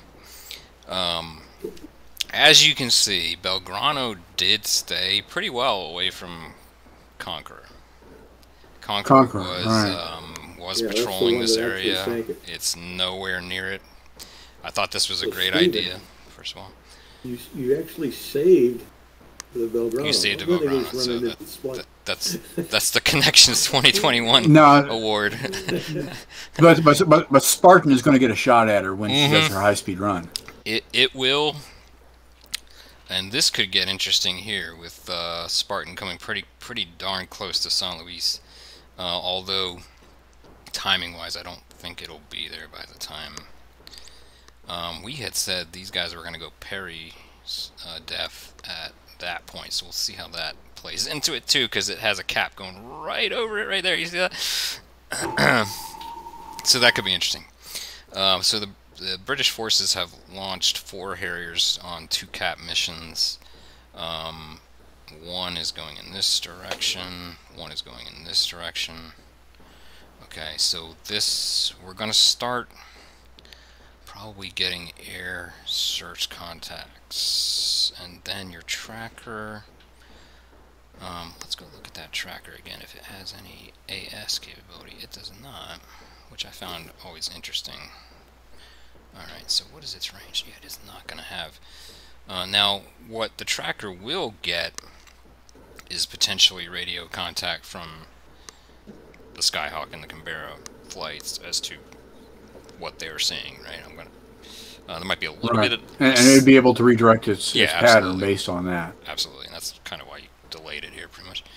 Um, so let's go forth and kind of talk this through.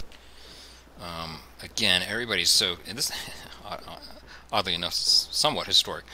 Uh, these guys are still probably about 200 miles away. That's almost almost exactly historical. Um, but we're still only an hour and a half in, right? As far as game time. So historical insofar that the Argentinians didn't didn't keep the carrier report. All right, so so what we're gonna do is I'm just trying to think as these take off. What is the Skyhawk's air search capability? Did I keep it here? No, yeah, there it is right here. What is its air search capability? It does what? Wow, really? Yeah, it doesn't have it doesn't have uh, much of a radar, No, it only has RWR first. if any, if any at all. Which basically, just as it says here, it only notifies. Yeah, no radar then. Wow. Okay. All right, and then Kim It just has a, a radar warning. is wow. So we're basically just targets. Well, no, no, So didn't we have? I thought we had. Uh, we, we didn't have. We didn't have Skyhawks with them. We had. Um, Oh, I'm sorry. Daggers. You're right. You're right. And I did that wrong. It's all right. Oh, wait a minute. Maybe these are the. that's okay. What the heck happened there? There's like a ghost image. It's interesting because the planning of the Super Étendard, su- was it Super Étendard uh, missions, it was the cap and the direction of the cap from the Hermes and the Invincible, which gave away. The area where the carriers were coming from because there was a nice Argentinian radar in Port Stanley that, and combined with the, I think it was the Neptunes early on, but the war the Neptunes out. The and the certainly the Sheffield attack, the intelligence came from indirect plotting rather than visual or uh, direct uh, contact. What am I gonna see here? I just want to make sure that okay. So on the Harrier though, they have LDS. Well, Well, that's the thing. When, when you have something like, like like the Harrier, if you know what direction they're coming from, they're so short-legged. You got at least Yep. a, a reasonable shot at at where their base is. Um, And even though not, they're I mean, trying not to- always. That's not a dip. Yeah, they tried to ahead. stay low and then climb, but it, it, still vectored. I mean, it was So, a protracted uh, combinations and people thinking So I'll still What even did we- call out that what they would be doing. But yeah, you know the I didn't mean to do that either. Um, but the if we found hair, the- the shards, the blue fox is not very capable either. Right? Um, so again, most of these most of these aircraft are small. The Canberra is large. So at best, they have a 35 nautical mile range. This, this is the physical limitation of the Blue Fox on the Shar, on the uh, Sea Harrier. So let's go ahead and put that on here real quick. Let's go ahead and put that just so we can kind of see if we have verification of the Invincible, I, I suggest launch, go after it. If, if, if Peter's depending upon gamer input.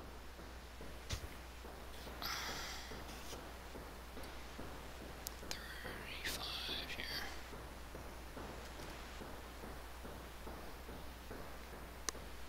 Okay.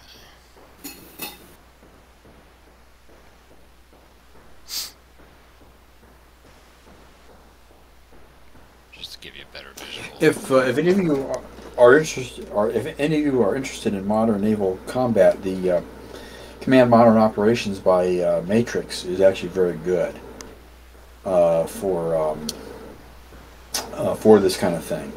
If you ever played it, it's it's actually a version of it sold professionally. Modern Operations. modern operations. Here, I'll, I'll. I'll put.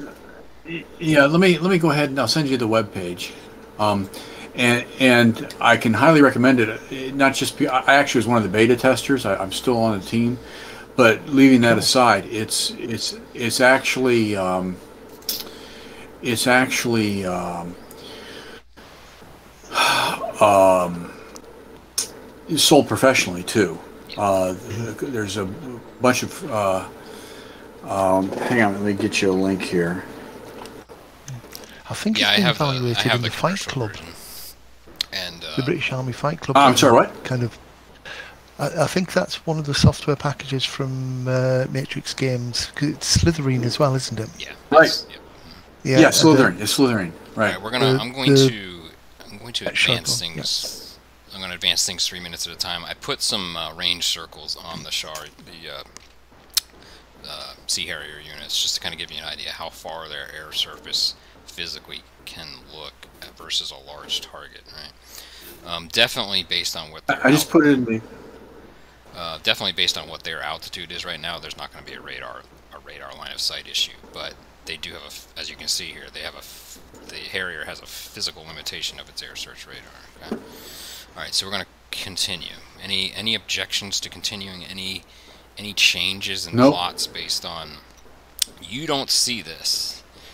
You don't see that. Yeah. He doesn't No. see this, and this just kind of gives you an idea how just um, even you know especially with the number of units especially with the lack of early warning. I can't remember who was saying that before. Uh, airborne airborne early warning in particular right? They don't know they're there. Nobody knows where everybody is. At least for, until they run into each other. In, in, in the real world, we wouldn't see anything. The, our first indication of, issue, of an issue would probably be a radar hit from Right. Port Stanley, actually, right, on the some- Some other things are is of course that the British have basically decrypted all of the communications for the Argentine command, so they knew when they left, they knew where generally they were going, right? Um, and then, but the Argentine, there's there's rumor that Argentina had Soviet satellite imagery showing where the task group was as well. So, of course, that would have been time delayed considerably, probably they probably knew from Soviet uh, imagery that not only the task group was there, but that the amphibious uh, task group was on its way. Right? I would, I, I, I Yeah, they might have, that hypothetically, they, they might have gotten like RORSAT or something like that. Right. Uh, like a, a radar, uh, but They well, specifically, theoretically, the, yeah, they specifically launched during that time frame more often and put them in in line for these for this uh, lat long, you know, on a daily basis. So they definitely were gathering the information and more than likely giving it to the Argentine forces. Um, now, of course, the British were getting satellite information from you know, you know who, us, us A, and uh, and of course we were also help. Uh, of course, the Naval Command in London was doing a, a, good amount of the decryption. Of course, part of the United States was too. Uh, we won't get too into that. Um, all right, let's keep going. Um, all right, this gets this is getting interesting here.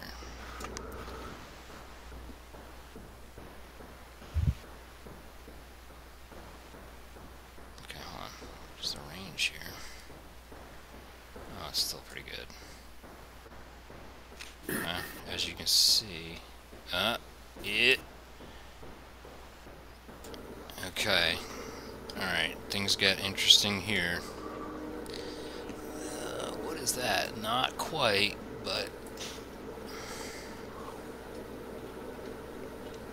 And we would need the Canberra to come into range because that's the larger target. But what is the range on... Small is 14. Go ahead and put that on there just in case.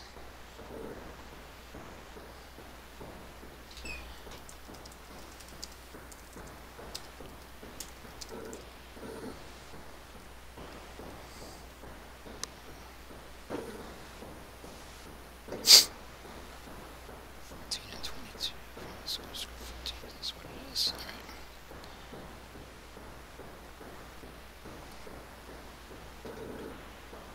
Getting tense. Yeah, this is interesting. So again, we need to. We'll see. this is kind of. This is really interesting. Oh, oh. Okay, this is actually a feature, not a bug. Um, which one? The Skyhawk. Rio. Let's stop the unit. Let's let's actually continue. Do you want to continue? Let's continue movement. Oh, of course. Yeah. We'll replot it at this point. Yeah, I, I'm assuming your intention was to keep going here, right? yeah. Our intention was to keep going until we got to approximately 200 miles out. Then we'd figure out which way to turn. Yeah, you're not going to get a visual here either. Let's just say continue movement. Okay. We picked up the... We have picked up the Canberra. Twosome here. The, s- Okay. the Sea Harriers are aware of Canberra coming from in this direction. Alright, how far are we away and do we attack? Again, the Sidewinder ranges. Okay, so that would be definitely a detection. So what what we would normally do from a from a double blinded perspective is this is what blue sees, right? Um, at that point, we would do this. We would modify this and make it visible to blue. We would not necessarily. Yeah, we'd probably know course and speed, not altitude. Actually, at this point, we'd probably have a radar early warning of your radar. Um, you would only, you normally only would get that if I'm firing an, uh, an active radar homing missile at you, at least in this generation. Uh, these are like the Okay. really early radar warning RWR systems, so I'll show you how it's depicted here. Um, let's see. Yes, absolutely. If I fire on you, yes, you would. yes. Um, But uh, I wouldn't even get the. I had just been painted by your search radar. I wouldn't get that. No, not on not not on this generation of RWR. Nope. That I've always questioned that, but that's how that's how the early, the early systems couldn't couldn't differentiate it. I, I don't necessarily understand the, the the physics behind that, but that's how it's done. Um, now what am I doing here? What was I looking for? Alright, so at that, oh yeah, modification of the observation perception. Okay, so again, this is this is literally this is what the British would say at this point, is they they see two air contacts um, of a. They know they're. Uh, that's another thing. That's kind of an interesting thing when you're using like harpoon is that uh, it depicts it pretty well. So if you're in a Harrier and you pick up something at 30 knot nautical miles, what's what's the rule of thumb, right? what what would you know? You know it's a large contact, right? Because you know the capabilities of Right. your radar. Um, so you you know that you know that if the air contact was medium or small, that you wouldn't have picked it up yet. So you you you have you would have the British would have the intel at this point that they have two larger aircraft spotted. Um, how would that change their actions? They would probably change their waypoints, right? I'm assuming that we would come in at you. They'd want to get a VID. Yes. I mean, it could be a civilian airliner, but they, they probably not since it's flying. You know. Right. We're not rules of the RO the ROE at this point is uh is kind of like do what you want at this point. Um, if it's coming at you, fire. Well, actually, actually, if you're going to use a sidewinder, you're going to get a VID anyway. So, yeah. Okay. So let's modify its waypoints. Let's just delete all. I think we're gonna check you out. And these. I think I'm probably gonna check you out in a rear aspect of firing attack. Although it is an all aspect missile, right? The AIM 9L. Yeah, the L is.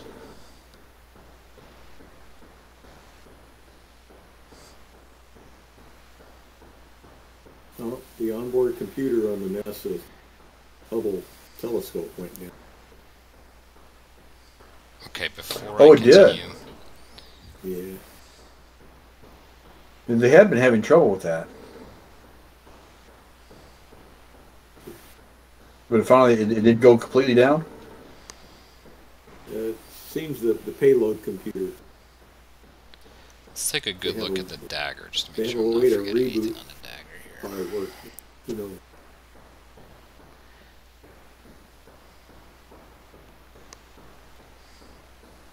I need a special tool. You see right here, this note, this is what I was trying to just say before, is that right here, that first gen, first gen RWR only notifies the aircraft under attack by radar guided weapons. Oh, so it- actually, I won't even get a warning of your search radar at all, even when you're under attack, because it's it's not even a radar guided. Correct. So it, it- I just have to hope that my pilot spots you. right? Which I think, which um, I don't even think I need to look up the rule, uh, the visual rule, but I think just based on the fact that we're at, we're still in the afternoon. This is GMT time. Um, Yeah. So you're it gonna should see be- them right. Let's see how far this is. All right, I'll see him coming. Yeah, right. Uh, the eyeball isn't that wonderful. Probably around right here. Let's, let's just let's let's keep moving. But before I do anything else, you uh, the tracker knows it's being uh, well. No, it hasn't been radioed anything yet, right? Um, so let's Right. continue. Paratroopers that's know they're interesting. in trouble when the pilot jumps first. Yeah, I don't even think you would have seen him. I mean, I'll let everybody kind of co-judge that, but I can undo it and redo it if you want. I'm gonna undo it. You see this? I'm gonna, I'm gonna. No, at that range, I wanted to see you. as I mean, unless there's a you wanna contrail or something cool? like that. Let's watch this. This is Sharkey This Ward is doing his tricks then. This will give us a better visual. It's actual real time. Ah, I think, I- I think by the skin of his teeth, he's not gonna be detected. He could take any, he could take them out. Um.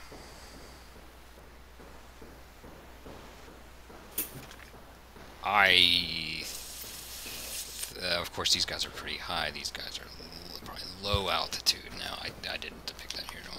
Um, do they? Let's take another. These guys are the mirages. I can't. Yeah, it makes you. Yeah, as you, as you dig into these rules and how and how some of these earlier, it's kind of earlier system aircraft are. They're they're not. You know, like like this Mirage will not see this Harrier. And at this point, if you Yeah, look right here, probably not because the, the, wing. Well, yeah, I mean, unle- unless he's jinking uh, a little bit, he's not going to see it. And I at mean, I'll, point, I'll, I'll grant you that. I mean, he's got him. Mhm. Um, I, I would probably rule that at least one of those is going to be shot down. Does anybody Hopefully disagree so. on that? I Okay, mean, I, I, I- I, I would actually, I'd actually go with that. I mean, um, now, I th- obviously once it's fired, they're notified. Um, then these guys. Yeah, all know. bets are off then. Um, so the again, the assumption is at least one of these is shot down, but then immediately you have a chain reaction, right? These guys absolutely know. Um, I would, I would think they'd hightail a little bit away, and let these guys Oh yeah, they would. There we go. Um, but let's let's let's not lose track of everything else going on.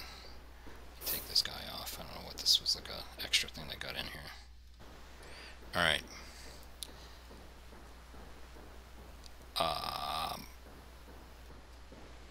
very interesting, and now this guy is gonna start making a beeline, right? For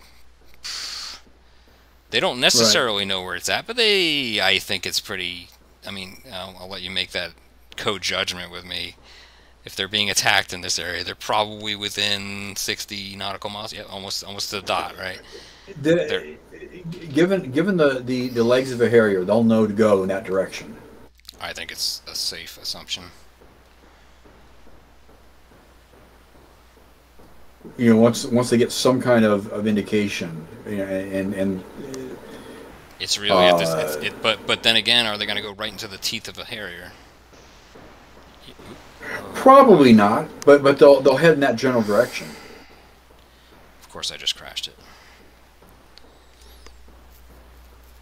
Okay, so on that note, um,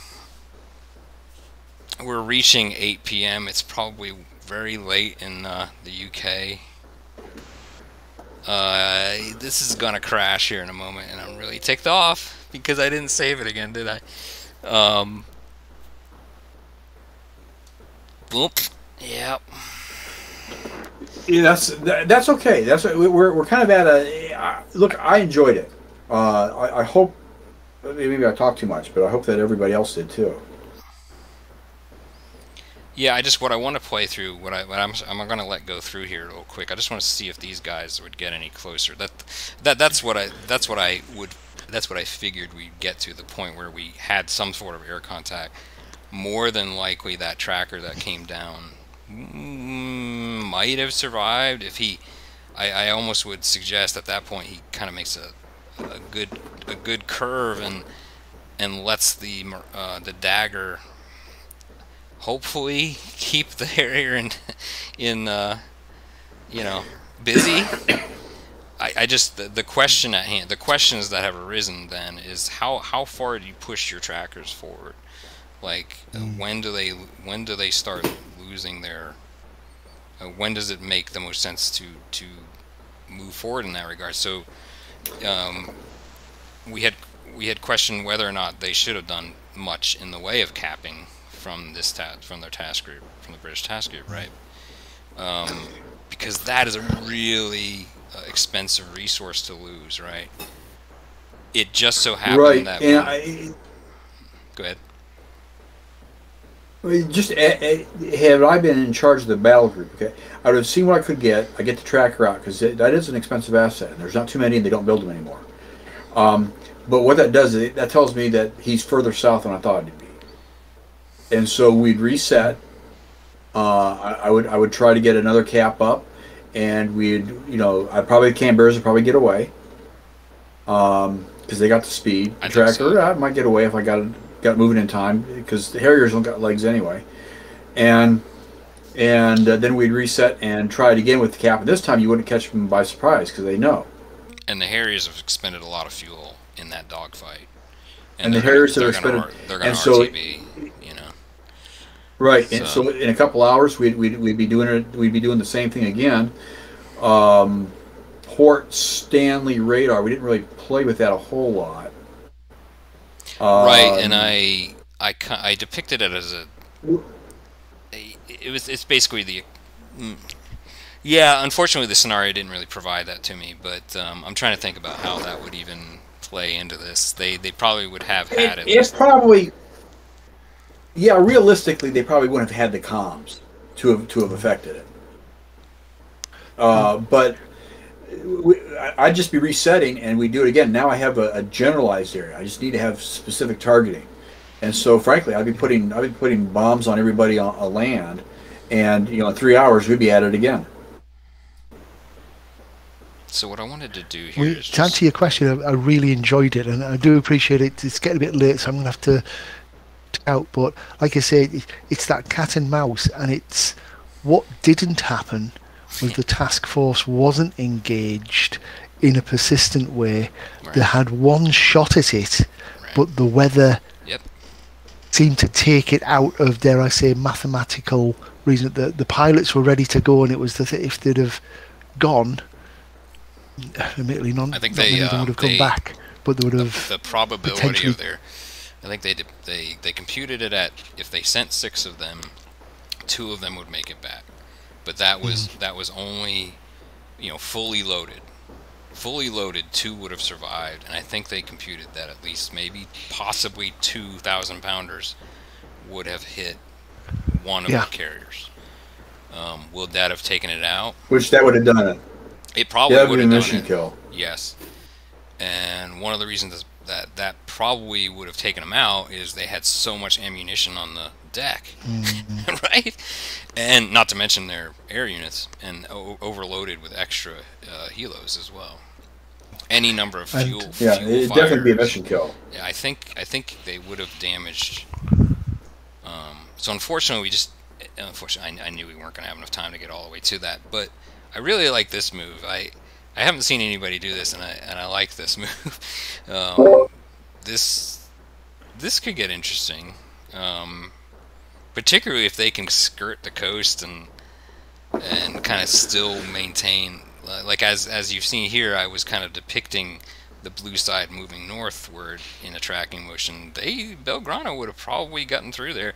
Of course there I had depicted that other cap uh, and they probably would have continued to do a cap on a certain time frame mm, eventually especially in dusk uh, this is at GMT again so we're talking still late midday afternoon um, of course, by the time they get here, it wouldn't be that time. But if Belgrano timed itself pretty well with nighttime, uh, and then meeting them up at nighttime from a different from a different um, axis of Yeah. threat, yeah, a lot I mean, stuff. going back to 100 days, that's exactly what Woodward was fearing. right, and that's that's that's, the pincer. It was it was coming from Tudor because prior to his deployment in the South Atlantic, early on in the chapter of that uh, the chapter of the book, he describes kind of a friendly war game against American carrier unit when he was the frigate captain, and he had a squadron of six frigates, and they were coming in uh, from different angles. Uh, so he played cat and mouse from the uh, the mouse point of view. So yeah, uh, and the think you- politics. Um, just him- overall, uh, I think y'all did well keeping this task group back until you found out more inf- more information. I Mm. thought that was a good move too. Um, Yeah. Yeah, I would. I would just like you suggested. I would actually have once we, since we have an idea of where he's at. I'd be hugging the coast at high speed because it just eliminates one angle of attack for me from a sub. Right. You know, the the shoreward side, and so I can I can I can layer my my ASW assets, my pitiful ASW assets on the on the seaward side, run at high speed, and you know and and if I can have four or five task groups getting in range, they don't have to be perfectly coordinated, but it causes a huge problem for the British in juggling assets on where to go. And if I get just two of those four to, to fire with near simultaneous times on tops, you know, I'm going to get hits. At this point, the the British task force it's going to be heading east. I would have thought. Yeah, it probably would probably more head like Yeah. this. Yeah. You'd- I kind of I mixed it up. Um, I kind of wanted to move them hor- uh, horizontally, if you will, a little bit more than historically. Um, let's see what happens. I wanted to see. Let's do this as thirty. I just wanted to see if these guys met. That's my main thing. I just I was very You know, the other thing is, is, is once you start running air operations against Stanley, once you start trying to do your, your, your pre-invasion bombardment, you've got a problem because now you have to do air ops, and so your your, your cap is going to be reduced. You know, you you you got flight deck issues, and and you're more vulnerable.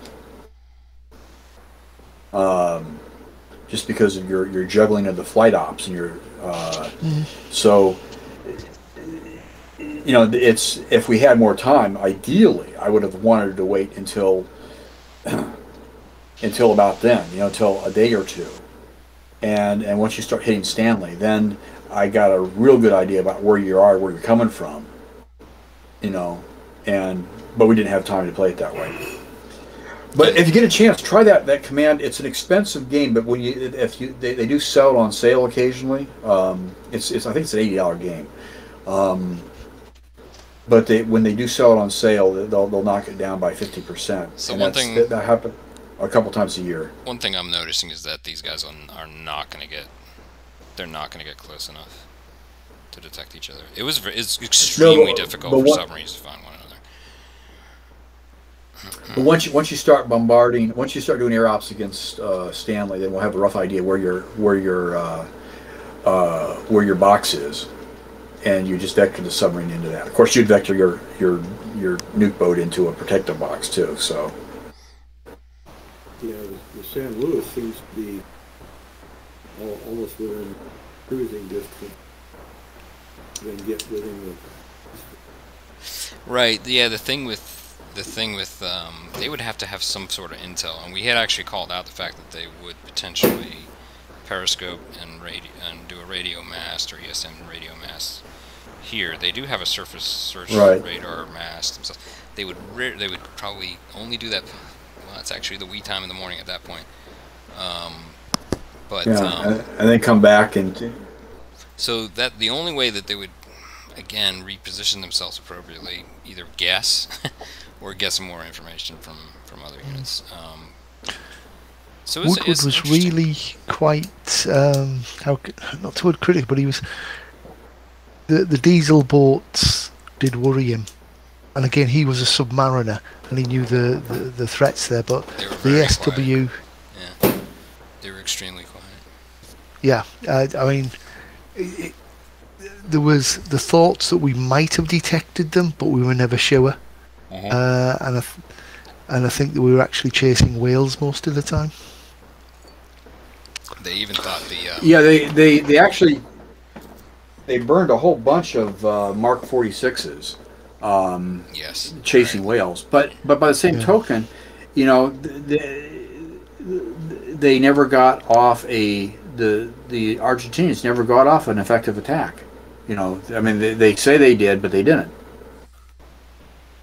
So Right, and another, another thing, they they later had what they think was a POS sub contact, and they, they thought they got it down to the point where they thought oh, you might be a U.S. or a Soviet submarine in the area here. so that was there's still an, there was still at least one or two unknown contacts that were very very likely subsurface units, but not of the belliger- belligerents in the conflict. So.